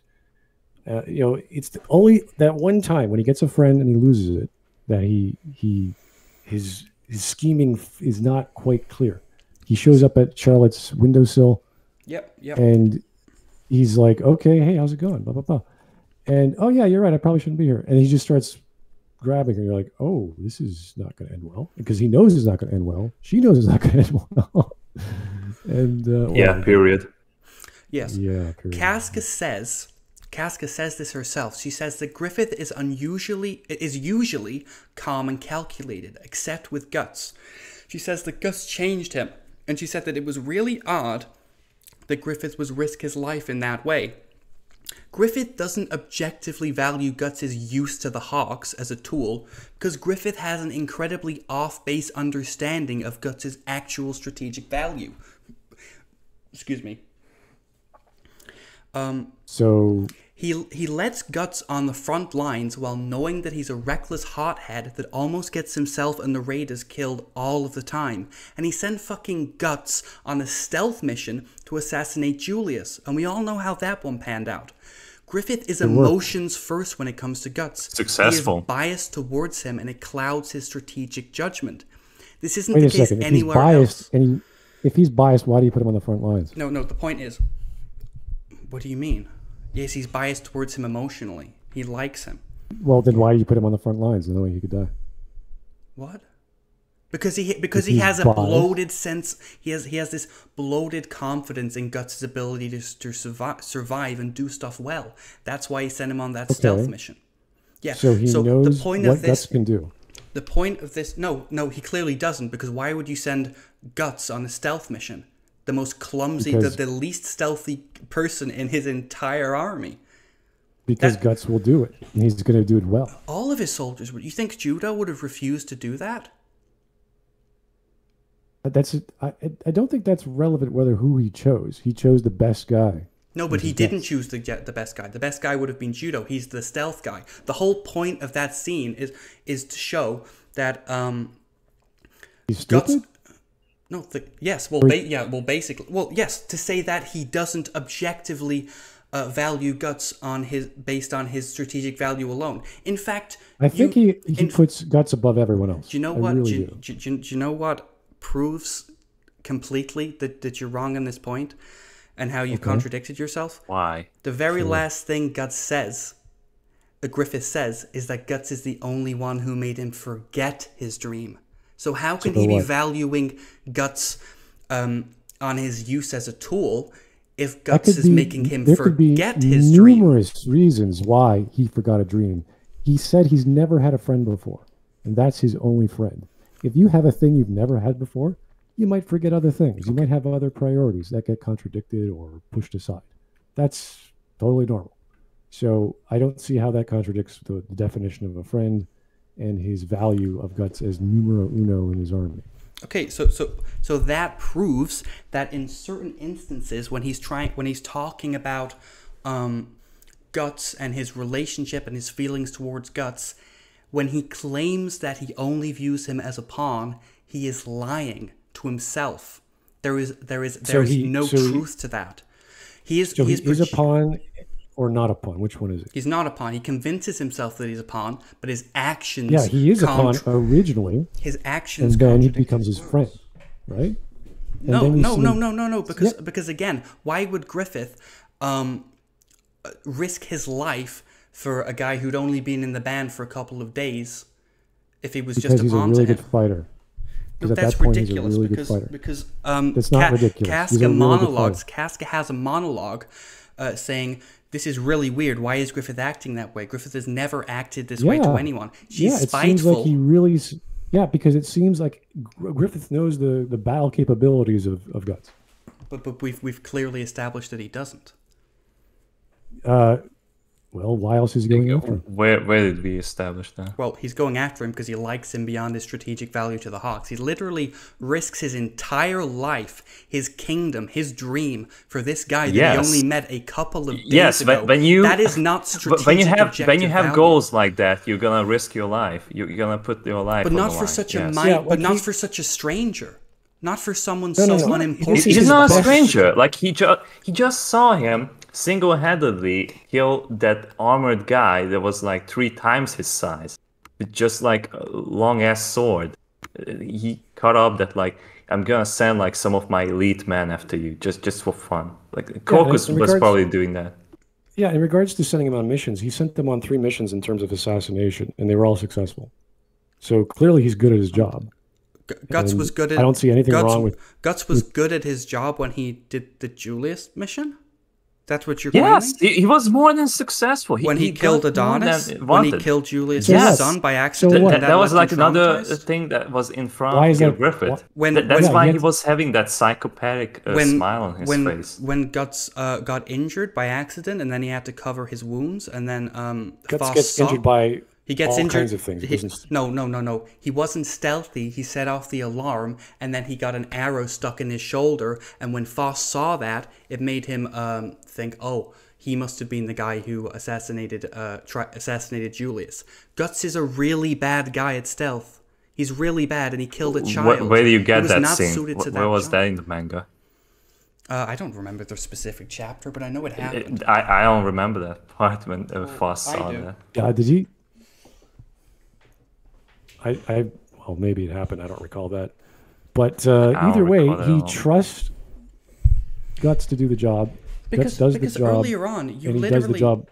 earlier on you literally Well- admitted that Guts was the only one who he didn't view as a tool. You said that, and now you're saying the opposite Later, because later it doesn't on, align he with sees your him as view. a friend. Initially, he's the best soldier he's got. Okay, it's very simple. No, Guts this guy who's killed some of his men. Hey, dude, I got a dream. Follow me. Blah blah. blah. Let's have a fight. He beats guts. Okay, now you're mine.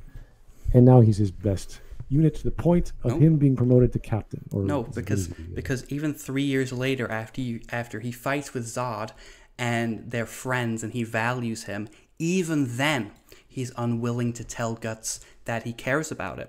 Even then, I'm not seeing. A, even I'm at not that seeing point- an issue with that. So what? exactly. So so so the point is, um, Griffith isn't willing to show his emotional side. He is repressing his emotions. So what? No, he's we not. were in- initially You're you're you're you're you're basing it off a, of a, a lack of evidence on a negative, because he's not showing emotion. He must have emotion.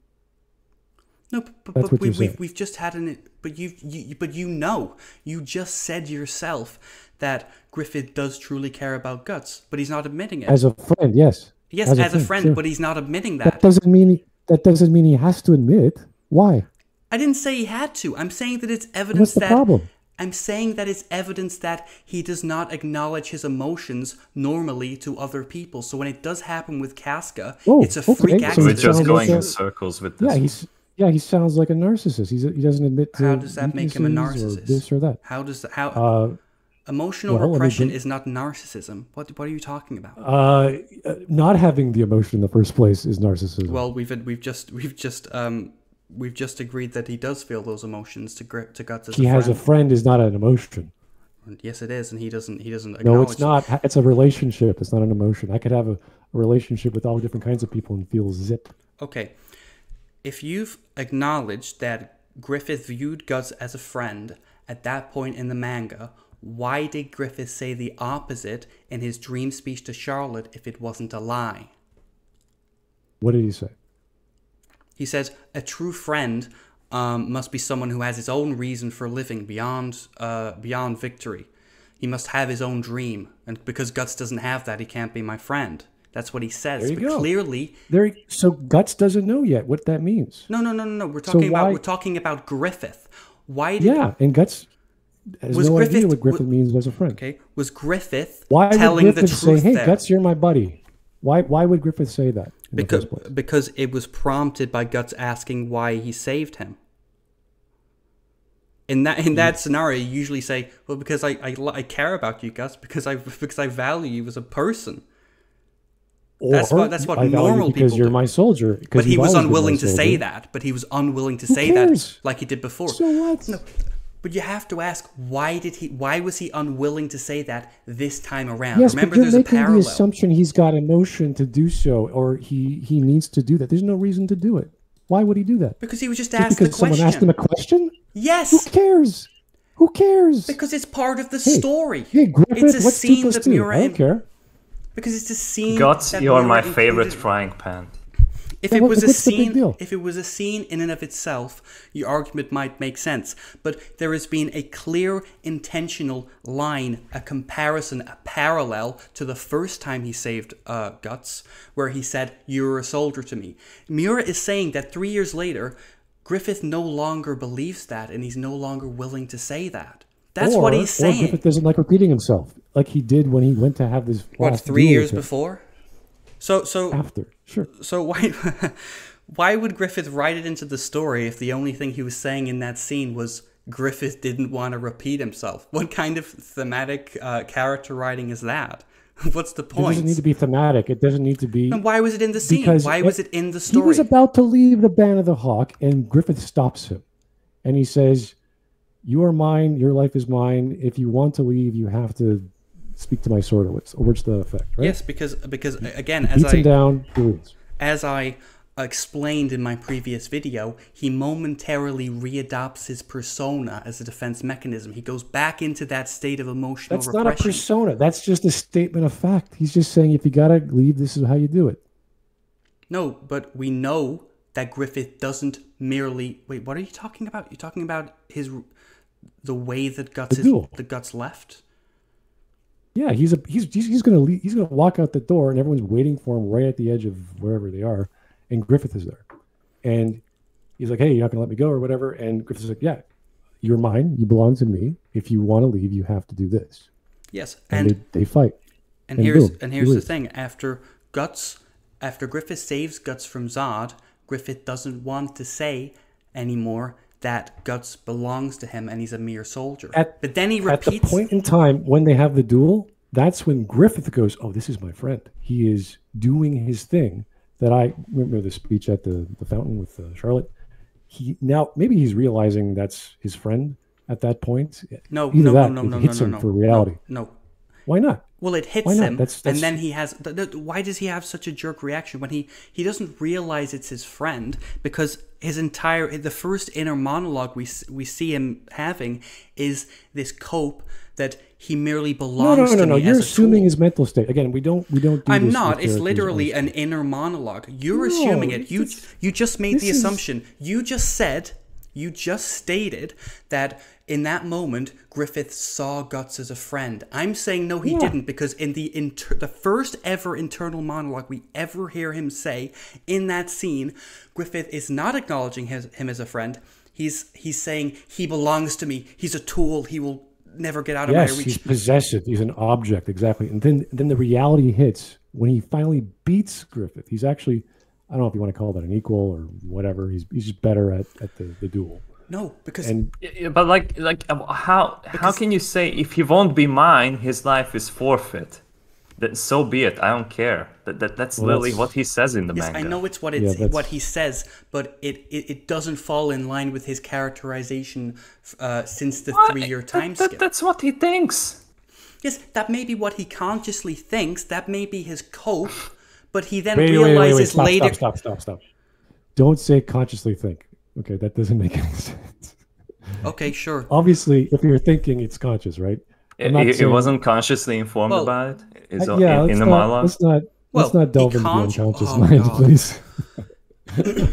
He consciously thought. Unconsciously, Guts really wants apples, but instead he got swords. Oh, okay. Clang. Griffith admits to himself in the dungeon that he did actually um, acknowledge that Guts was a true friend, and he regretted how he treated Guts in the second duel, and he admits that that was wrong. Did did he? The- After- all, all I could I could all I could read in that chapter is that like he's the only thing that keeps him alive because like he, he- there's no other enemy that like keeps him like that. There's a like, specific yeah, he is he is conflicted, but like he's not saying that like he's a friend or anything. No, he's saying It's that more he's, like he's, he's saying that the guts is the one person who makes him lose his composure and um, is the one person that makes him forget his dream. So um, it says that he express he, that he feels regret. You see, He- the he's not reason expressing the regret. reason that Griffith goes to Charlotte was it was a way for him to continue the path to his dream, but really but quickly and desperately to convince himself that um, he know that he doesn't need guts. But as he's having sex with Charlotte, guts keeps playing in his mind and he's trying to distract himself. He's trying to distract himself from And thinking then the about first guts. reaction that Guts. Griffith has is just choking, uh, trying to choke okay, guts. Okay, but don't he change the have subject. the. The point is that Griffith did not acknowledge that Guts was a true friend in the second duel. It was only afterwards he realized his mistake. He realized that he was lying to himself in the second duel. Okay, so you're saying for whatever reason, only till after the second duel he realizes he's a friend. Yes, because because look, Okay, like, so- he sees the situation he's in. He's like, The, shit. the this second my duel is when his uh, sword breaks in two, right? Yeah, Yeah. That, I, I think we can all agree that's the reality of, oh, he is my friend, because that's based on his criteria what a friend is. That's totally fine. No, Even but he if he was thinking he was before, it doesn't really matter. That's the reality of what he defined, right? Okay, but Right? he didn't internally realize that until his epiphany just before he did the sacrifice. He didn't realize that internally Wait a second. Wait a s- So what? Why does that matter, though? Because we're talking about how Griffith viewed. We're talking about whether Griffith is lying in certain scenes, and that requires an understanding of his internal perception So, of guts. so you admit he's not a friend till the eclipse? He's a friend. He just doesn't realize it. He doesn't admit it to himself. Okay, that's fair, Yeah, I guess. it all makes sense. Well, I, I- I just don't think what he's thinking is really relevant to why the narrative is the way it is. It is because And in order to um in order to um understand whether a character is lying we need to know their true internal motivations. And my Uh, my premise that he feels empathy is predicated on the fact that he lies in certain scenes. So of course his internal motivation matters because that's what we're Okay, talking about we can we can just characterize this as an usurper of a power hungry fellow who's had gone through a lot of people. And some of those people he regards as more valuable than others. He cares about them more in some capacity. I don't care what emotion that is. Call it empathy call it camaraderie it doesn't really matter. And in certain cases he shows those emotions in negative ways. Mhm. and he doesn't know how to deal with that. That is what we would call in certain states, instances, not every example, of course, of, of Griffith is negative, but the narcissistic behavior of not getting what you want. It's called uh, narcissistic rage. I think I can. I think that's. A, I don't know. If that's the medical term. I know it sounds a little silly, but it's when the narcissist does not get what they want, and Okay, they I- try to compensate and they try to behave a certain way.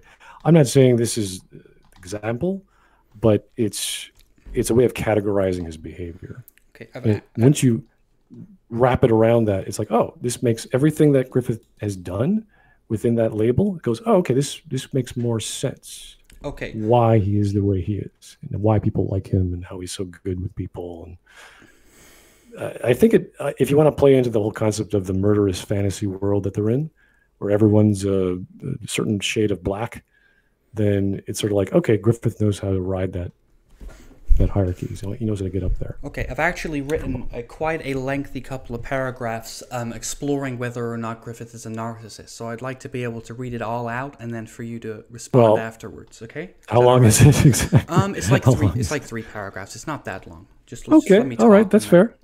Go for it. Right. So, in the first 10 minutes of your video, you said that um, Griffith is less moral than Guts due to his narcissism. Use that as evidence that he was less moral. Um, so, I looked up what are the common traits of a narcissist, and the first one is a grandiose sense of importance, and it's delusional. Would you agree with that?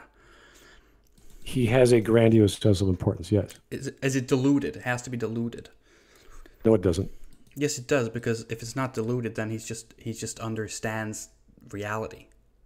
A grandiose self sense of self importance if- is, if- I think, I'm amazing. if a carrot if a person is genuinely important in a certain context and they're just being like this is what i've said that he does kind of have a grandiose sense of importance but it's not inherent to his character it's not an innate biological personality disorder and it's not delusional he wait, wait, was wait. important we're talking about, and we're talking about NPD. It is a well is a specific. Yeah, sure, or just thing that- narcissism in general. Whether it's inherent to his character or whether he just comes off narcissistic because um, Okay, he that's fair, projects this alright. persona, uh, this false fair, sure. persona. Yeah.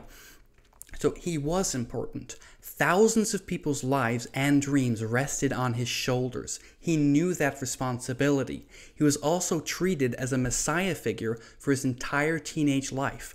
He didn't manipulate or groom people into worshiping into worshiping him at 3 years old. That's how they always regarded him. They gave him importance. It wasn't self-assigned. Griffith simply understands exactly how important he truly is to his men, going by how they treated him. And he didn't like that, by the way. He found the burden to be incredibly heavy, and the main reason he was so fond of Guts was because he was an escape from all that. Guts always treated Griffith like an equal, and so Griffith felt like Guts was the only person he could be himself around. Certainly not with Judeau, Casca, or Corcus, who all looked up to him and had an inferiority complex of some form towards him. It made Griffith lonely. He also didn't feel self importance at the expense of others. He valued Guts as a soldier and a friend to such an extent that he put his life on the line for him on multiple occasions. If anything, Okay, so you're saying he does have a, a sense of self importance. but it's but it's completely valid and accurate. It's not overblown. It, it's It's the exactly same thing. how it- You, Well, you're not a narcissist for understanding your importance if you're the president of the United States.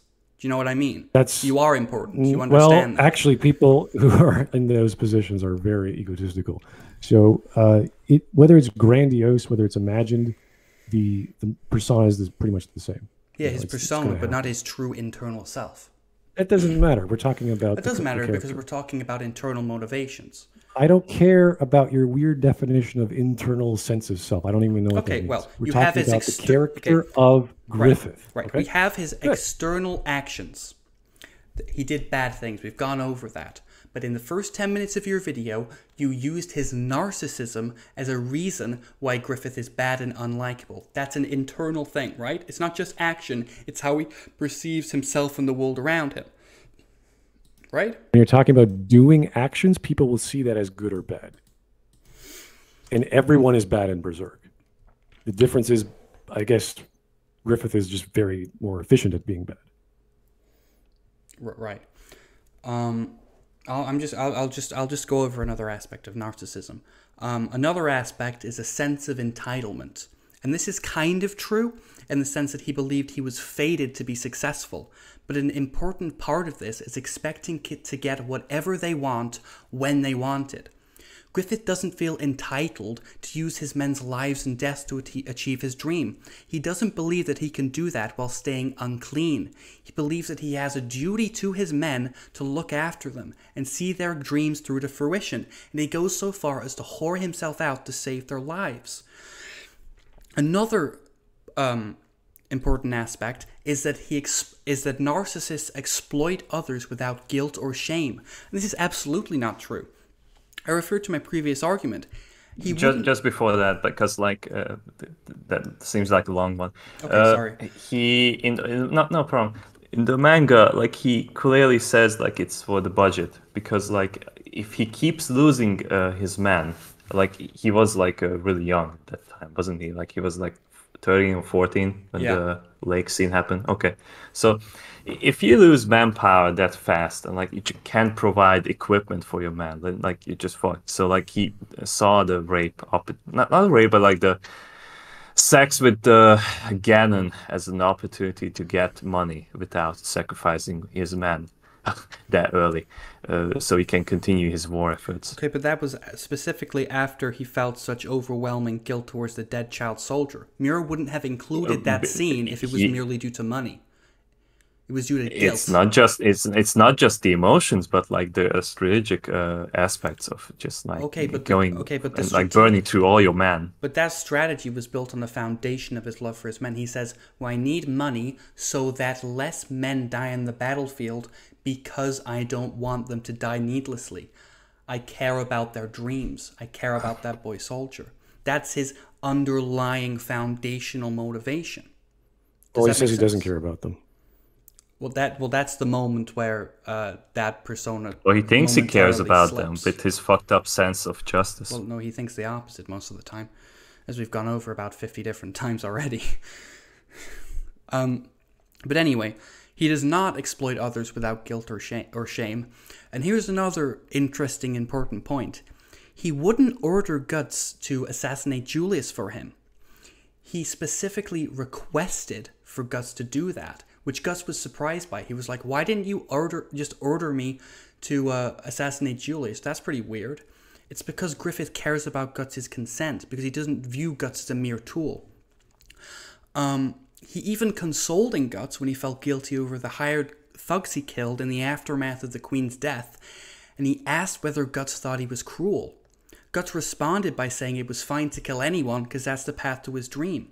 Griffith is filled with more guilt and remorse towards the people he killed than anyone else in the Hawks. Most, uh, more, especially Guts. Guts feels no. Why are you remorse. assuming it's guilt? Why are you assuming that's guilt? Because he did the same speech with Casca. Um, yeah. Why do you think I'm dirty, or why do you think you're doing this dirty business? I'm sorry about that. Like, why do you why do you call that guilt? because it's uh, contextualized by uh, the dream, the uh, lake scene with Casca. No, no, no. I mean, the scene with with Griffith after he, he kills the, uh, the abductors of uh, uh, what's his name's daughter. Because we know from the from the lake scene that when he ki- No, no, that no, when people die for him, in general, when people die for him, he feels bad about that. That's a real emotion he feels. Because because earlier on we had this discussion. You said that That's not an emotion per se. He just says, I involved you in this filthy scheme. And I didn't even get my he hands says, "Do you think I'm cruel?" And he has a really sad expression. Then Guts says it's okay, and Griffith looks relieved. He's like, "Oh, okay." Then Guts says it's all right. I feel okay. So it's clearly an emotional. So you're, you're thing. assuming his facial expression is emotional because he can move his lips. Do you, his do you want me to send you the um the image on? I'm looking at it right now. I'm looking at it right now. You're looking at the image of of Guts of I Griffith involved acting. you in this filthy scheme, and I didn't even get my hands dirty. Do you think that I'm cruel? Are you looking at his um facial expression? You're saying because he's looking at with, with the pursed lips, and I guess his eyes are slightly. okay. well, I don't know Then look at how to describe his eyes. look at look at Guts's response, and then look at how uh, Guts Griffith lowers his head and smiles, and then they walk off into the distance. Well, because Guts reassures Griffith, and then he smiles when he wasn't before. It's an emotional thing. People express them. People have facial expressions when they feel things. What is this argument? I don't understand. Yeah, is so guts guts does because Griffith is a narcissist. He can make shit up. He doesn't have to have this conversation. That's not based on anything. You're not basing that on anything. Yes, it is. How do you he know he's a narcissist? killing everyone We- for his goals. But again, we know that he he yeah, but I just I went I just went through an aspect of narcissism was that he exploits other people without Yes, guilt or and shame. you're trying to without it to guilt mean or shame. something else. We know that There he feels guilt or shame, terms which means narcissism. he You doesn't need five of the nine, and you're cherry picking whatever you want. Go through all nine next time, and don't try to favor one or the other. Do not try to infer an emotional state or try to guess. Oh, he's sad because his face looks like this way because I involved you in this filthy scheme. I just gave didn't you the context of other scenes to inform this analysis. You're going off nothing. You are You're going off describing what ifs. on- no, you, you're don't. no, you don't even I'm remember. going off what ifs. You don't even I'm remember. looking at the scene right now. You I'm don't, reading the scene right You don't now. even remember half of the chapters or, or what the fuck happens in the story. You're not prepared for this. I don't. You have to have- know- you have to have it Excuse me, explained to the other guy. Excuse me. I'm reading this comic manga right now. Well, the audience. Number can. Is it on the screen on the live stream? Would you like me to put it on the screen? Well, is it? Well, you can put it on the screen and the audience can decide for themselves. Because I'm sure that they'll agree the with me. Uh okay. There it is. That's a link in the description. Let me see if I can get my video.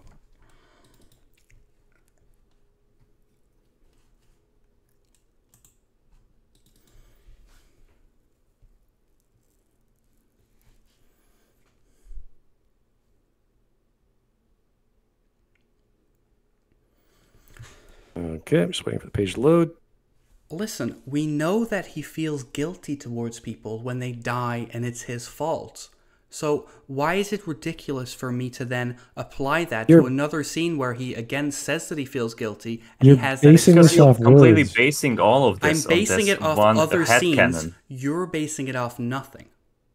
You're basing Excuse it off me. What do you mean I'm basing off nothing? What do you? What am I basing? Well, what you're off? just being contrarian to everything I say. I say, I I say that um, this is the reason why he does something, and you say, how do you know that? What if it's this?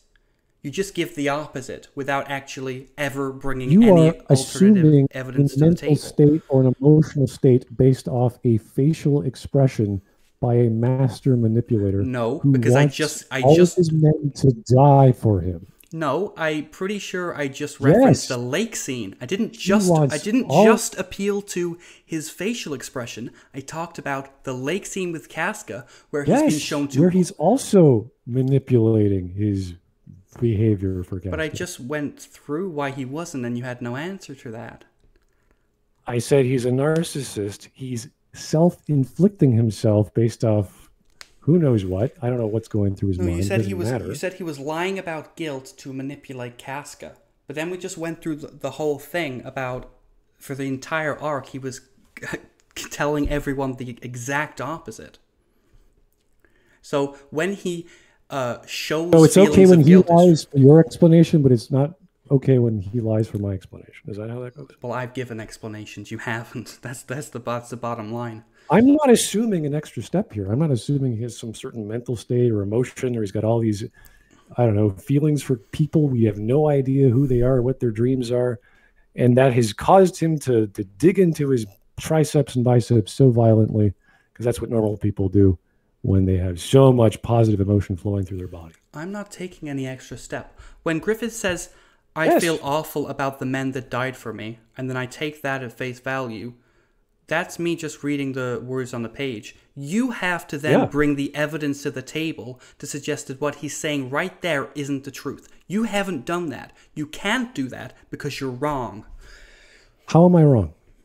For all the reasons I've been outlining for the past however long this stream's been going on for. When he says in that conversation, no, I don't, I came to this conclusion rationally, which brings less risk, losing hundreds of soldiers in 10 battles or snaring a rich old man. How is that wrong? What does he say in the very next couple of pages? How does he contradict that? He says, But I, I I feel all this horrible guilt towards the men that died for me. The reason that I. But if there is something that I can do for them, something I can do for the dead, then it is to win. I must keep winning to attain my dream, the same one they clung to and risked their lives for. Oh no, he's justifying what he's always wanted by saying, hey, all those guys died for a reason. I'm going to keep doing what I'm doing, get all my men killed for my dream. No, because the whole point of that scene is that he's seeking to minimize their deaths by hearing himself out again and so that he doesn't have to fight so many battles. So No, he's just doesn't make sense. rationalizing it for No, himself he's with no, his he's fucked not. up ra- logic. He, no, he can't be rationalizing it to continue because his Yes, he can. actions. No, no, but he hasn't He done absolutely that. does. He hasn't done that because the whole point is he whored them, himself out to minimize their deaths by minimizing the number of battles he fights. He's not willing to needlessly kill his soldiers. He doesn't feel entitled to their lives.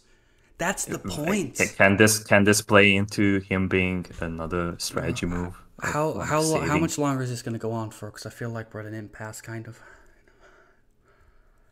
Well, the thing is that when you read characters in a certain way, you do not assume that they've got this emotional state or this mental state or whatever's inside. We can't really know for sure unless the story actively tells us. Where in one example, with the the gods come down and and go, ba boom, this this is your mental state, right? That's that's a good. I mean, that's not the best way of doing it in a story, but that's all we got. When uh, we can see into the mind, or we have like I don't know, like a telepath, like in fantasy or science fiction, We do have that. what's actually going on. We- have that. We have Right. We have the idea of evil telling Griffith what his internal uh, emotional state is, and we have Griffith himself in an internal monologue at the end saying that he did truly care about guts. So all the times he said that he didn't, that wasn't actually true. That's how we know an internal monologue. That's not up for interpretation. That's what he internally. Well, I. I would agree he cares about guts, but not. In what way he cares about guts? That's the Yeah, I mean, question. I'm not. Well, we I'm just, not saying he doesn't well, care we- about We've his already men. we've already been through uh, the fact that he viewed guts beyond his uh, use to him as a mere tool. That's the whole point. He made him He- forget. th- his there's dream. no indication that he felt gay love for guts. I didn't say that. He, you said that in the video. I no, that was another. Meme. Yes, I you said that Yeah, in no, the I know I said that, but it was a funny meme tape. I, it was, I was, Oh, I was uh-huh, intentionally ah, being okay. Um, I was actually going to go through um, your dislike of my use of the word toxic masculinity in the video, and I was about, I was going to go over that's. how um, I, a lot of you know what? a lot of Once we get to a certain point, there's a lot of stuff I just sort of gloss over. Like this is not worth even discussing. This Yeah, but I. I was actually going to go. I was going to say that in stories that explore more traditional uh, modes of masculinity, um, you often get uh, characters who are able to express their emotions openly to each other. And in this modern, uh, in this modern toxic masculinity that we have ourselves in in urban industrialized societies, when we read these stories, a lot of people assume that these male characters who care about each other and who have intimate relationships or, uh, are gay, like Griffith and Guts, like Sam and Frodo from Lord of the Rings. They they assume that these people are gay because they um they are open to each other emotionally, but they're not. They're just really good friends in a non-toxic way in a non-toxic masculine way. So that, that that was an interesting thing i was going to go over because the the um the, the term toxic masculinity was wasn't actually coined by feminists. It was coined by the mythopoetic men's movement, um, which was like a self help um, organization for men from the 80s to the 90s, and they. Uh, they didn't like feminism. They actually used Jungian archetypes and Jungian texts to uh, create this archetypal idea of deep masculinity um, from tribal societies and stuff like that. And he said they said that the modern um, type of masculinity, um, emotional repression, self reliance, and competitiveness, isn't actually the original masculinity. It's a result of um, individualist modern capitalism and that's and, and all that. Right. I mean, yeah, the the etymology of that begins in the 80s, but it's used differently nowadays, and it's just yeah, but yeah, but it's the not point was worth getting into. in the original video you said um, how can Berserk be about toxic masculinity? That didn't exist in the 80s, and if it did, it was on SJW college campuses. I'm saying that toxic masculinity absolutely applies to the Jungian themes of Berserk because that's where the term originated. And it doesn't have to be exploring feminist messaging for it to be about toxic masculinity because a lot of people who believe in the older archetypal um, ideas surrounding masculinity, they also reject the more modern toxic masculinity. So it doesn't even have to be feminist for Berserk to be exploring these ideas of emotional repression in men.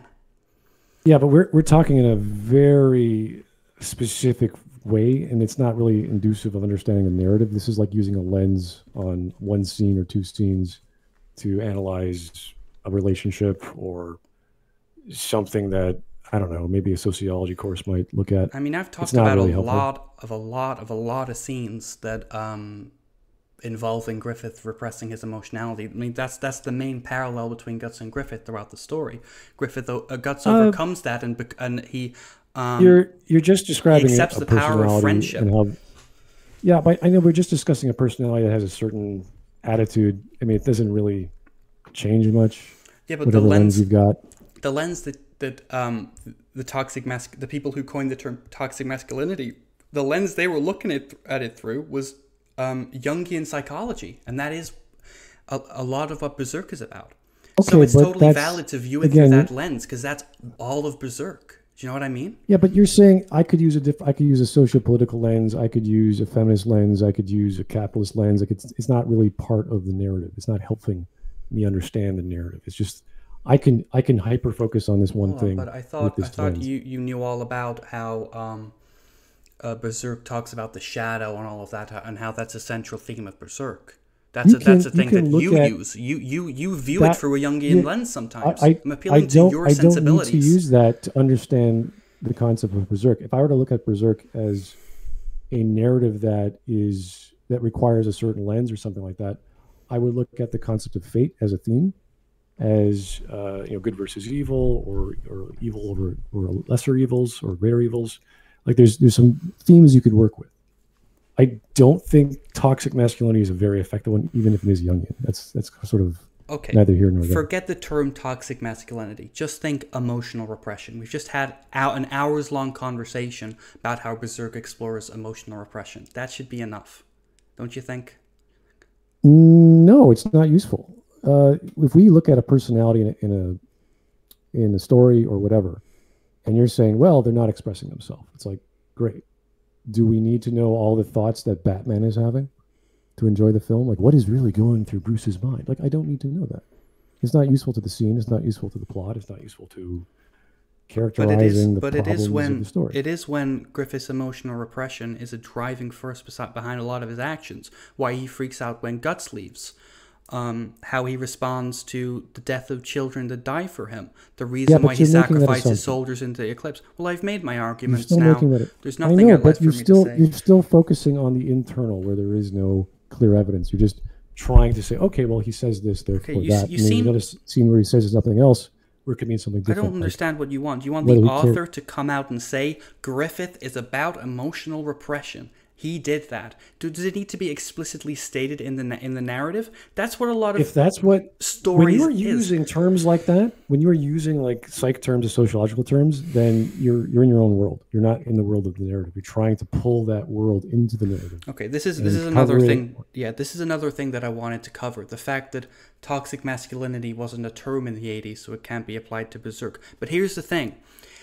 Just because I used that term, just because the term didn't exist, doesn't mean that um, the general idea of emotional repression was completely foreign to, to Japan in the 1980s. Of course, people in Japan knew that men sometimes unhealthily repress their emotions, and that's a thing that can be explored.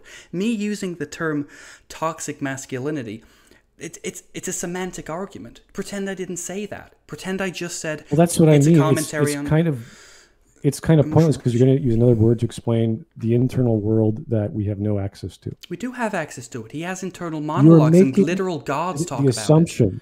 You're It's not an well, assumption. It's evidence based. when- It's when you evidence ha- based. when you have a god moment like the illusion, which is not the best form of god moments because it is effectively an illusion, it's not crystal clear.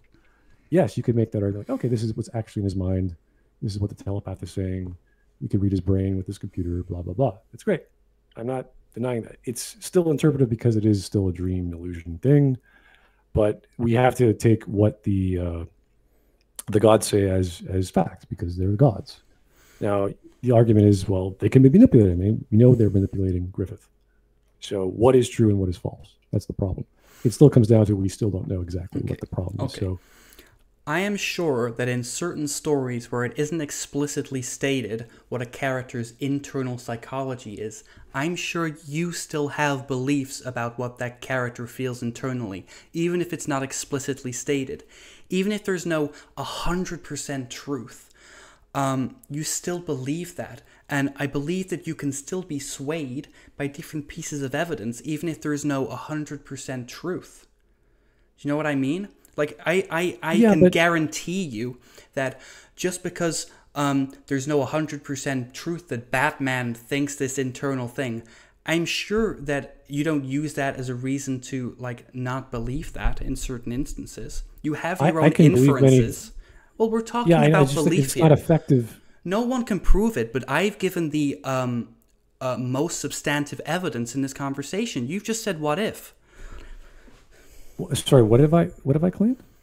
You haven't. Well, you you've claimed the opposite of everything I'm saying by appealing to the fact that I can't know, rather than actually um, uh, uh, undermining or con- trying to contradict what my actual arguments and my actual textual Well, we tend to look at the actions of a character to determine their character, we, what they what they actually want, what they they do for it. I've done Everyone knows Griffiths. Yes, everyone knows uh, Griffith's goal. It's it's constantly repeated, and you know you're trying to justify it as well. You know, in for a penny.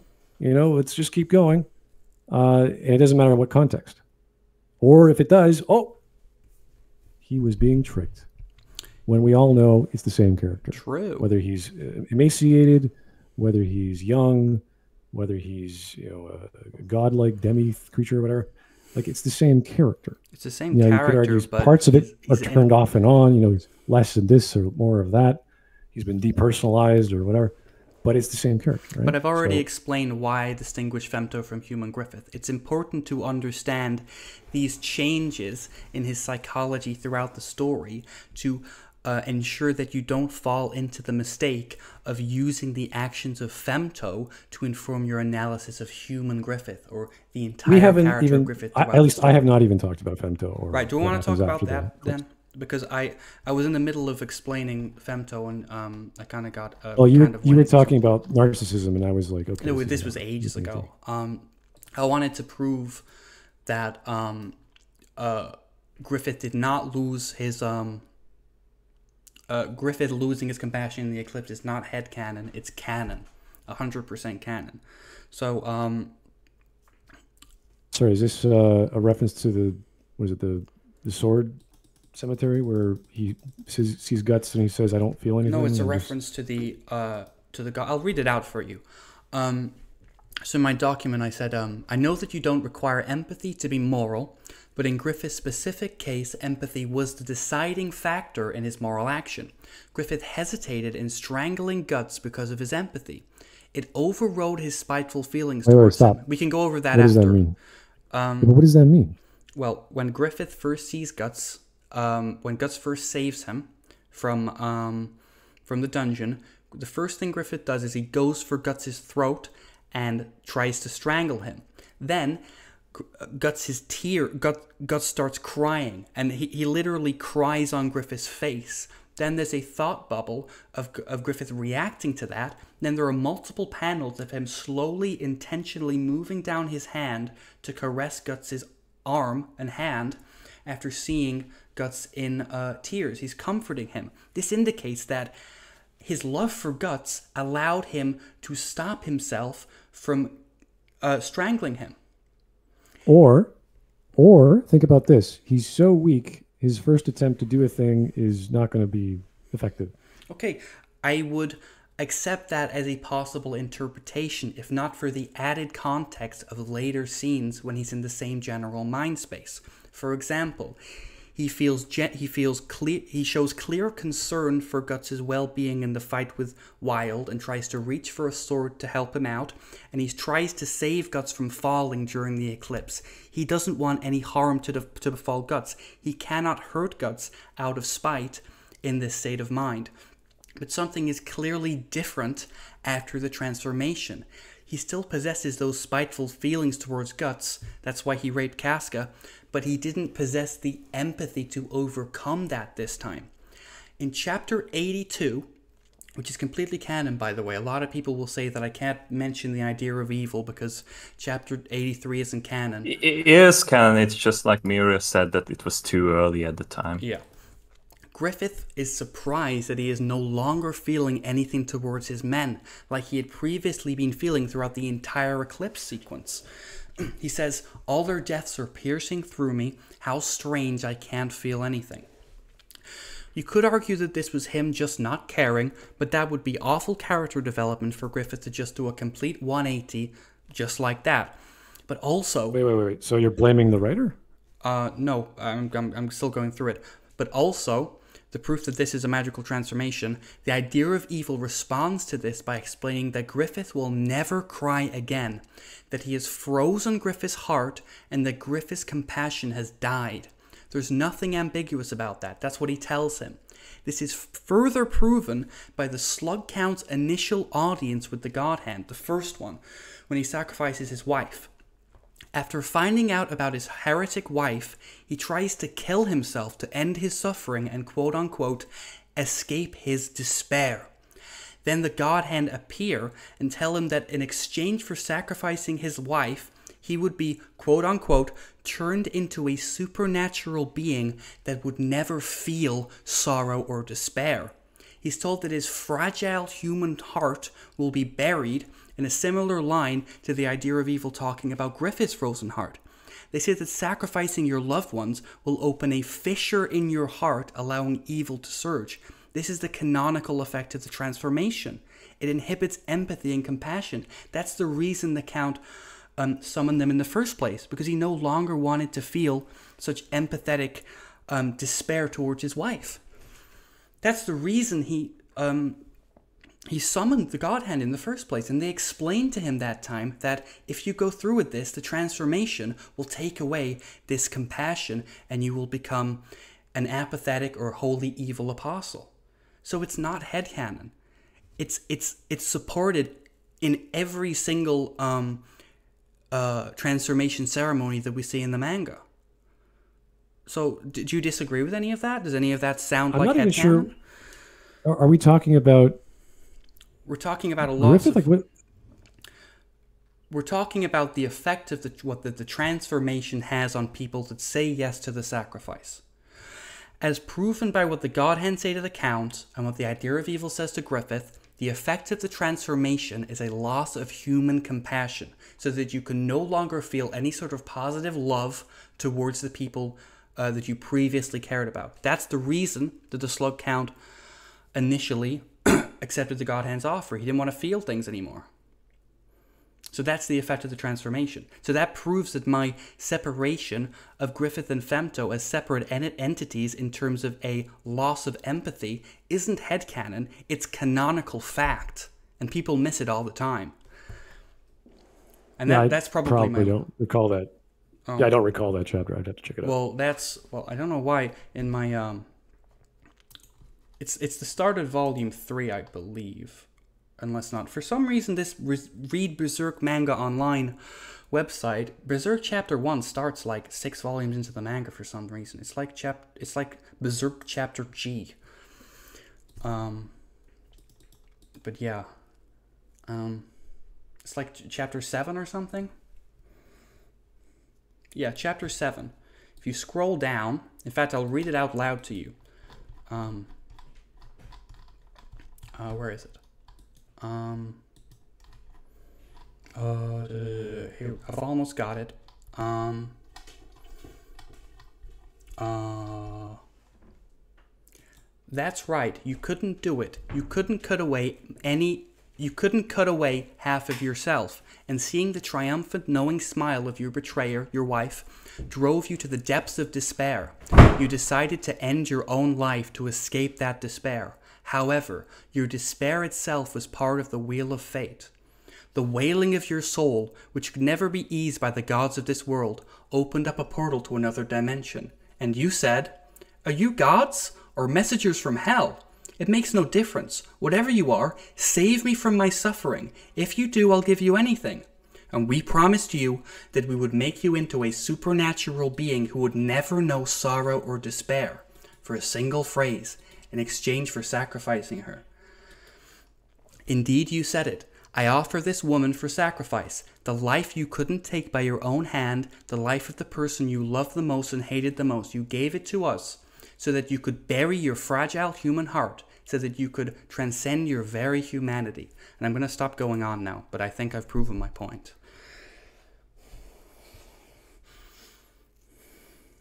All right. So where are we in? Well, let me just see the video. We haven't moved the video in an hour or so. Um, Well, we have been going off for almost like I three might, hours. I might now, so- actually have to leave soon because my girlfriend wants to sleep, I think. oh yeah, we are actually going on three hours. That's right. Yeah. Okay. Well, that was interesting. I didn't get the last part of those ten minutes, but thank you for uh, reciting your notes. That was helpful. Did I change your mind be about sure to- anything at all?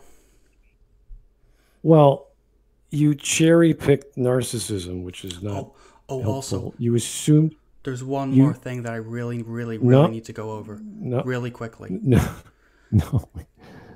That We, we gotta go. it, it'll be really Anyway, quick, uh, literally just a sentence. Okay. Um, uh, you said that uh, someone got really angry in the in the last part that um, in in the last response Well, video that there, um, there's lots of people who get angry that you know, Uh, Probably want talk. bears. Yeah, that's that's normal for him. Uh, that uh, Guts didn't actually try to rape Casca, and he was possessed by a demon at the time. I just want to clear it up. Guts wasn't actually possessed by a demon in that scene. That was a previous scene where Guts is defending Casca from demons, and then a demon goes into him and he tries to strangle Casca. That was the possession. The later scene when he tries to rape her, he simply sees her with her breasts out, having been ripped because some soldiers tried to rape her, and then he goes at her the the Beast of Darkness only shows up a little bit after he he uh, already started trying to forcefully kiss her. So I just wanted to um, uh, uh, disprove that common misconception that Guts didn't try to rape Casca because he 100% did. Sorry, I've been going on for too long. I'll let you leave now. All right. Well, thank you so much for your time. I know that wasn't the easiest conversation you might have had on the topic. I don't know if uh, this is a thing you keep doing, but you know, enjoy your your love of manga and anime, and keep making videos and analysis. It's always nice to hear differing opinion, even if we disagree. So, uh, thank you so much for coming on. That was uh, that was good of you. You too, man. Thanks for having me. All Yeah, right. thank Well, we yeah, we'd happy to have you in the Discord, and you could argue to your heart's content. To well, maybe the nicer people in there because they they have their own opinions on on media as well. So maybe you might uh, change a few minds. I don't know. I'm going to go keep reading the rest of that arc because I clearly didn't know as much as I should. So that would be good. And it's an awesome manga. Everyone should check it out. Uh, it's one of the greats. It's one of those.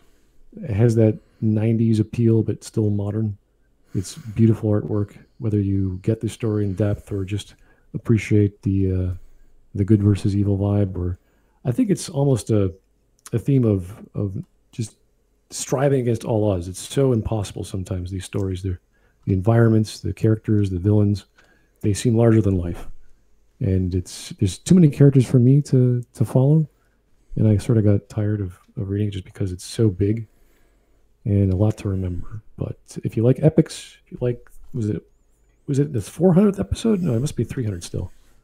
The uh the manga is still going on, so it just takes a very long time to come. 374, I believe. Wow, that's amazing. So, anyway, uh, do check out Berserk. It is an awesome anime manga. And thank you for your time, guys. It is sweltering. Holy crap! It's run out of water a long time ago. But uh, thank you so much for tuning in and have yourself a great evening. We'll talk to you soon. Keep your suggestions coming in the Discord. That'd be helpful. So we know what we're doing tomorrow or the day after. Actually, I think tomorrow's a day off. But uh, Friday, we might have another video coming up. So thank you so much. Have a great evening. Good night. Good night. Bye.